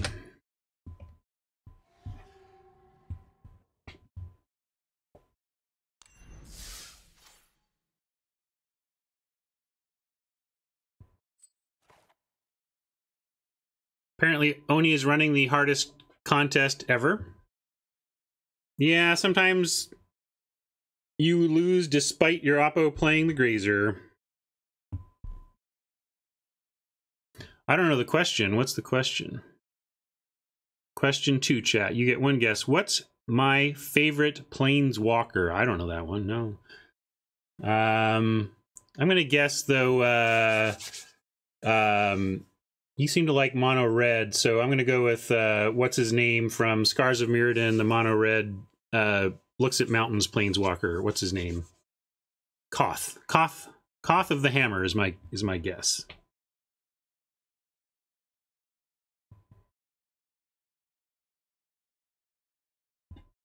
Rattleclaw, glad you made it down to the stream. Glad you enjoyed the appearances. All right, so I was close at least with Koth. That's good.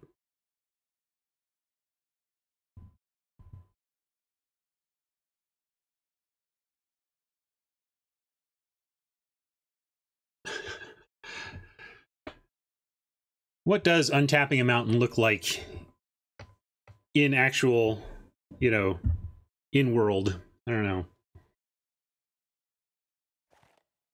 All right. Well, we're already happy with five. Let's see where it goes from here.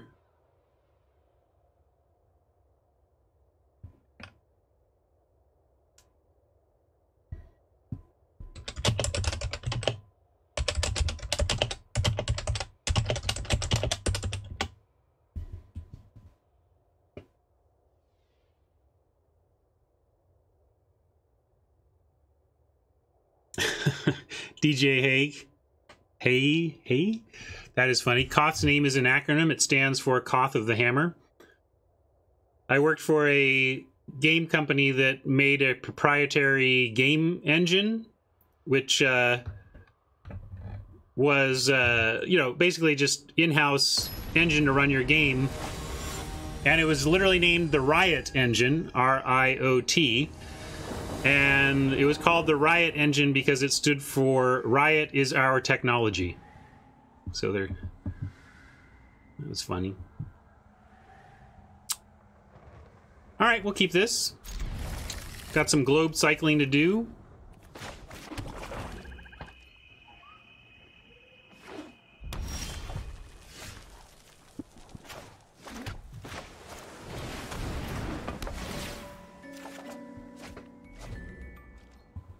I'll run out of finisher for no value if Oppo doesn't do anything here. I don't mind. Protect the Wanderer, if nothing else.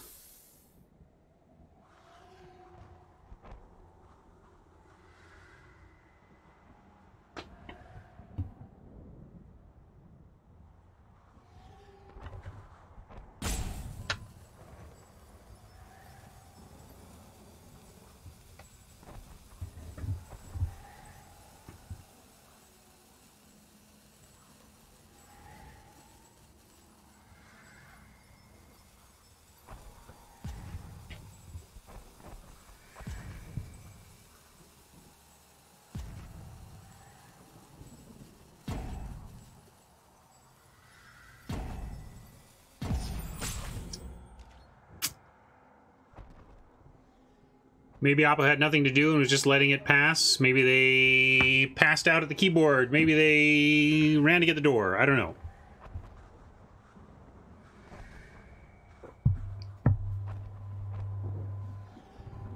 Vaporcane, you're asking me if I'm developing a game? No, I'm not developing a game. I was talking about uh, a time in my game industry history in the mid aughts, and I worked for Surreal Software from from like 2004 to 2008 or 9.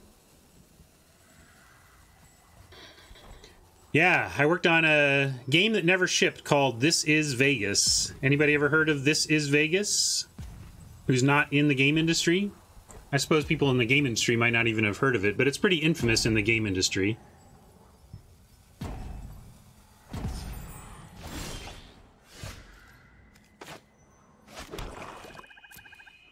This is Vegas is. Uh, it's infamous in the game industry because it may be one of the most expensive games that never shipped. It was intended to ship as a GTA style action adventure game set in Las Vegas.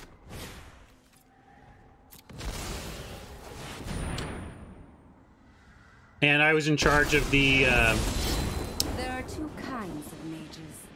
those who lose, and me.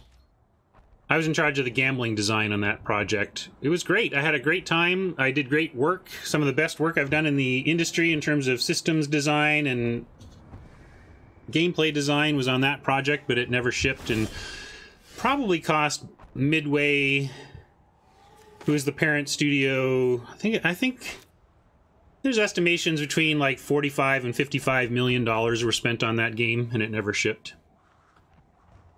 You're welcome, Wujo. Thanks, Wizards, for providing those. Oh, here, let's uh, let's get on with this. Don't want to give Oppo a chance to come back and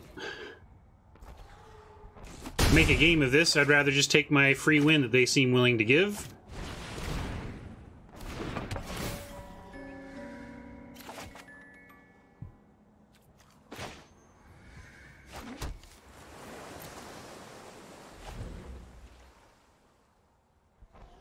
Oh, neat. I didn't know you knew Pat. He's great. I love Mr. Lippo. Looks like he's he was at Hidden Path and is now uh, leaving Hidden Path to go go indie on us, Nick. So that's cool.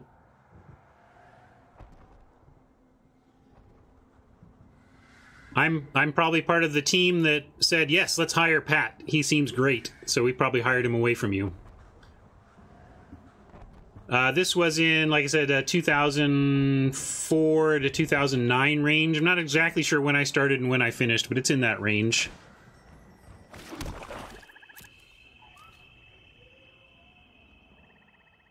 Oh, I don't know if you were asking. I'm also don't know if people are asking Oni for Oni questions or me questions. So I may be taking Oni questions out of context and answering them for my my yammering here.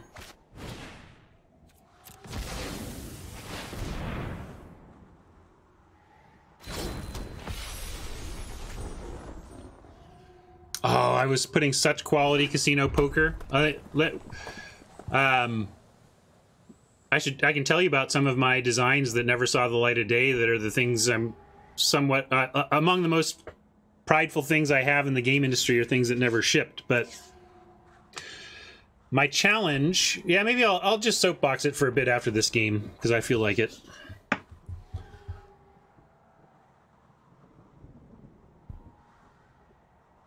I guess I could soapbox it during this game with with what is doing here. Looks like they came back. Uh I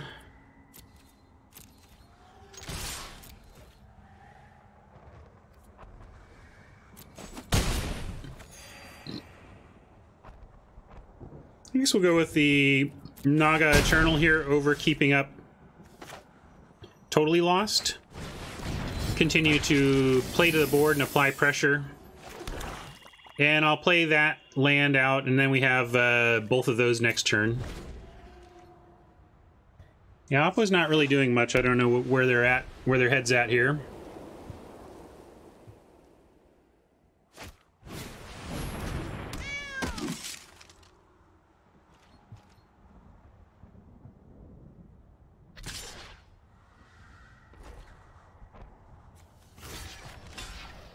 I don't know what they're up to, but I'll offer them the Eternal.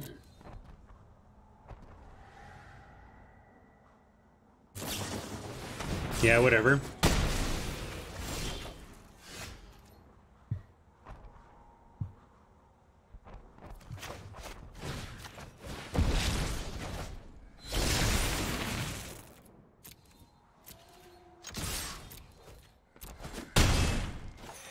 See, this is why I rare draft. Clearly, your draft picks don't even actually matter. Sometimes you run good.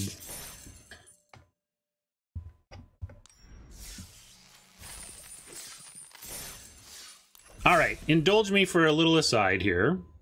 I'm going to go into soapboxing mode for a moment because I want to tell you about my favorite um, among my favorite game designs that I ever game design work that I ever did. So I was working on This is Vegas. It's a Grand Theft Auto style driving, fighting, adventure game set in Las Vegas. The kind of the elevator pitch. This was we started working on it before the movie came out, but kind of your pitch for the game would be uh, was the the Bachelor uh, the it wasn't called the Bachelor Party. Um, the one with uh, the four guys in in Vegas for the with Mike Tyson was in it and everything. Um, they get tattooed. Hangover. Thank you. Apologies for that. Hangover. So the idea of this game was it was going to be Hangover in video game form, right?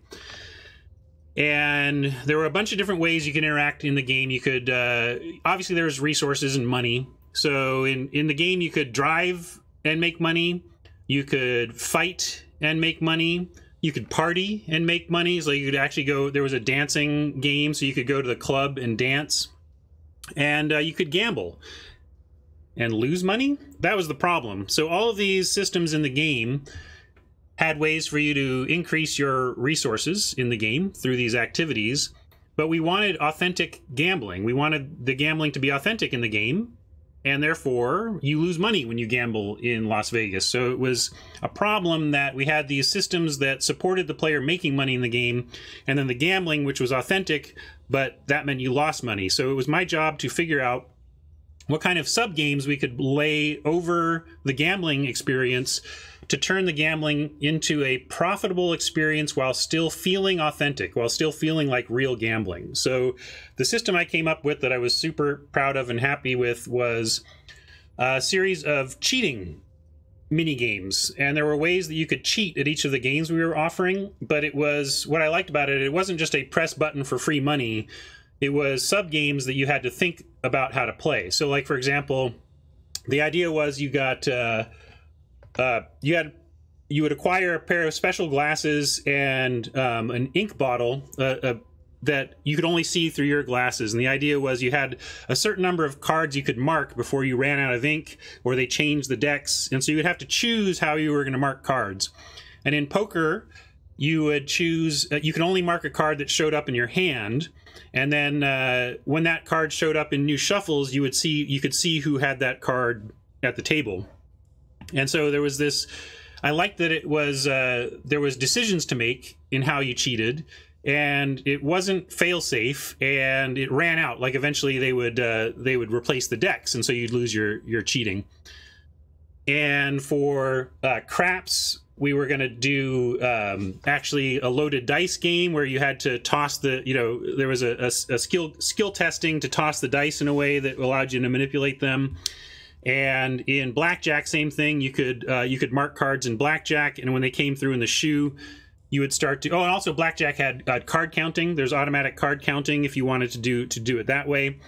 But it was really it was just neat to have this layer of cheating that was still a fun aspect of the game and it's still all the stuff all the strategy that you needed in blackjack was still true. You just got this extra layer of information that you got to interact with and i was really really happy with that and it made for uh, fun fun fun fun gambling in which you won money over time which was also nice. But then here here was the my my maybe my greatest game video game innovation and never saw the light of day until effectively it kind of saw the light of day lately in um, in this kind of speed poker the the poker rush rush poker that they've got going. So one of the problems with authentic poker is that it's boring as hell. If there are 10 people at the table you can expect to win one of every 10 hands and therefore you should be folding probably eight out of 10 of those hands and really only competing for the ones that you are a likely candidate to win.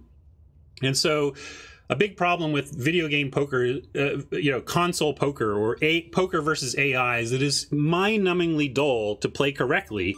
It's hard to stay disciplined enough to play correctly because it's just video game poker anyway. So you just play every hand, and uh, so you. Uh, uh I was really frustrated with that and love poker but was frustrated that I never wanted to play any video game poker because it was so torturous or so inauthentic. So I but I, I came up with it. So for those of you who don't know poker, when you play poker, uh, most in in like Texas Hold'em style, there's two players that are the blinds. There's called the small blind and the big blind. And those are effectively the, the ante for the pot. Those people are forced to seed the pot with some money so that there's something for everybody to win. Because if you didn't seed the pot with some money through forced action, everybody would just fold until they had the best hand possible, right? So you, you seed the pot with a little bit of money. And that uh, penalizes you for just folding until you have a good hand. But what we did is we set a bar uh, I basically defined what a playable starting hand was. We had two settings, tight and loose. You could do loose uh, or tight starting hand selection. And basically, if you check those options, if you chose to go into that mode, it the game auto folds anything that's not a good hand.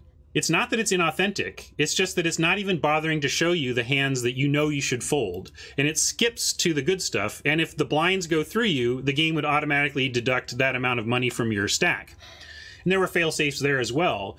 But the net feel was that every time you you finished a hand and started a new one, you would get an amazing pair of cards. Oh, I got ace jack suited. Oh, I got a pair of sevens. Oh, I got a ace queen. You know, like you only played good, interesting, viable hands and just didn't even bother showing you the, the chaff that you're supposed to fold. And it felt like cheating, even though it wasn't. It was completely legit. You, we just skipped over the 12 hands and it would tell you how many you skipped too which would all, was also neat it'd be like 13 hands skipped you wasted you you passed over 13 boring low power hands and got straight to your kings or whatever so uh, anyway i loved that design. I played my own poker game on my lunch breaks because it was so fun to just get good hand after good hand after good hand and know that it wasn't even actually cheating. It was just an assistant to tap you on the shoulder when you had something playable. So.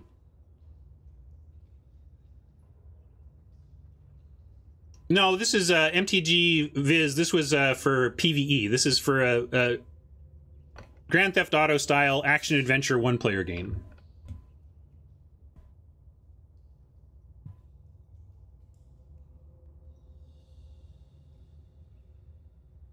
Oni. Long stories are why people come here, right? Maybe not. But thank you for indulging me. I don't get to talk about that too often, and the fact that that never shipped and saw the light of day is one of my great sadnesses of the game industry. But it's everybody's everybody in this industry has one of those stories. So there you go. Should we try and get somehow uh, seven wins with this deck?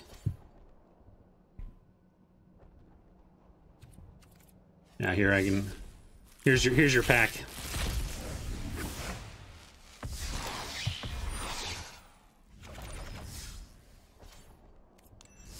Somehow we're playing for seven wins with a deck nobody liked, and I put par at two and a half on, so there you go.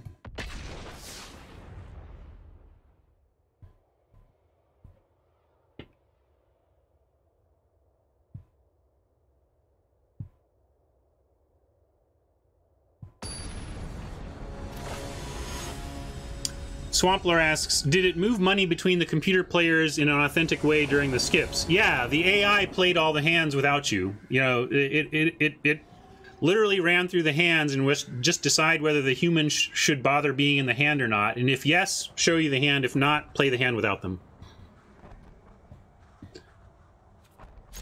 Looks good.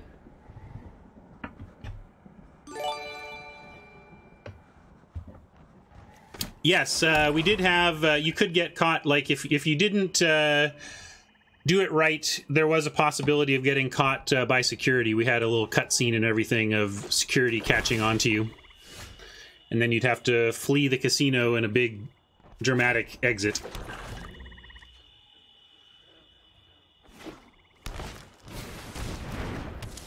Well, they played a two, and we can't thirst it. That's too bad. And nothing to play on three either, which is also too bad. Probably start on the Silver Wing. If they don't add anything, we may start with Kasmina.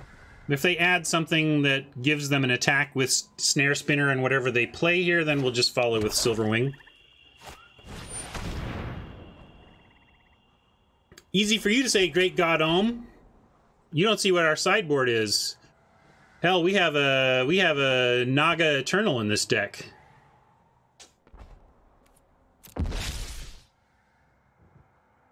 Probably take the Kasmina, but maybe you have to take the command. Depends on what they're worried about.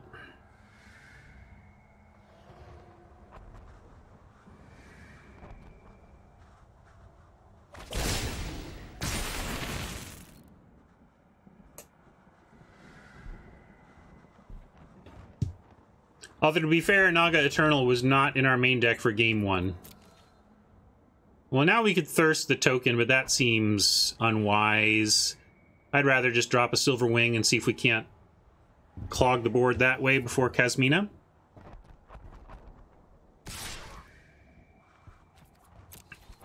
And uh, we have no way to get this back from the yard, so we are trying the natural way. We have our, our best card, our most powerful card at the very least, is now gone for good in this game.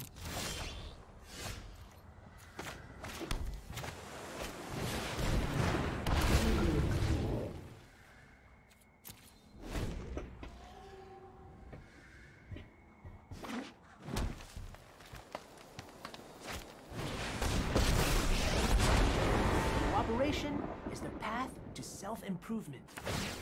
Teamwork is strength. Shang's okay here, but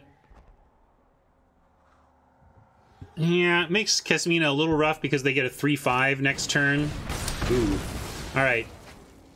Six wins is pretty good, though, huh? Six wins, not bad for this mess. I'm gonna take this moment here to go ahead and Sorin's Thirst the Dreadmalkin.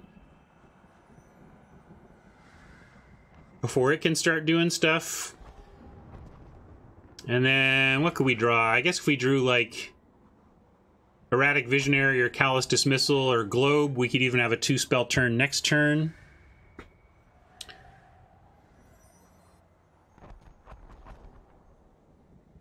Our only other option is to Kasmina and minus. That seems terrible, so yeah, we're gonna do this.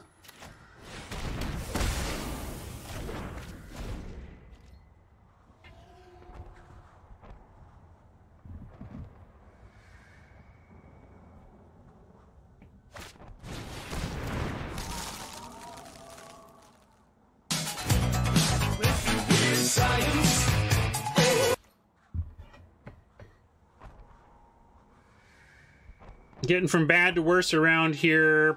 Gonna have to... Kasmina and Minus, since we can't even Wanderer Strike.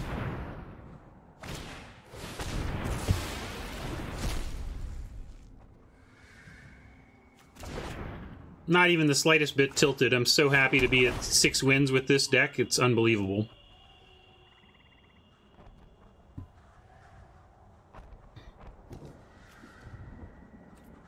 And with a lot of sweet stuff they can get back with the Spellkeeper, that's going to be rough.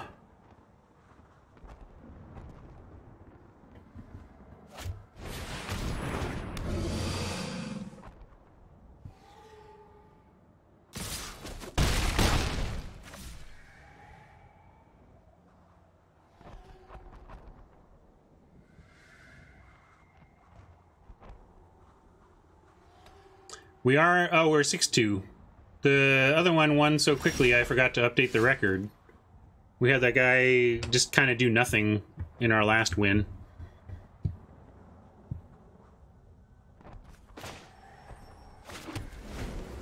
Eh, help me remember this one when we go 1 and 3 with our stunningly good deck, you know?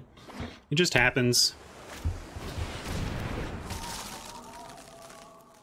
At least Oppo. At least is giving us a lot of uh, a lot of meme value.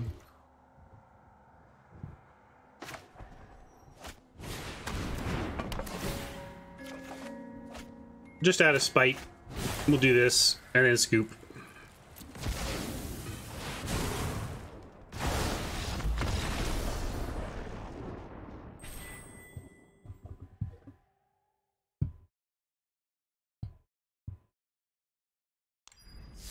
All right. Wanted seven, of course. We always want seven, but heck, six wins with this uh, this messy deck. We'll take it. And that was off of the gold entry. So we're back again with healthy totals here. That's really the fundamental secret to playing for free on Arena is just pacing yourself to take advantage of these gold of gold entries that then become extra gems for your future gem entry. And we got a second extra pack. It's true. It's true. Go to soapbox here for a sec.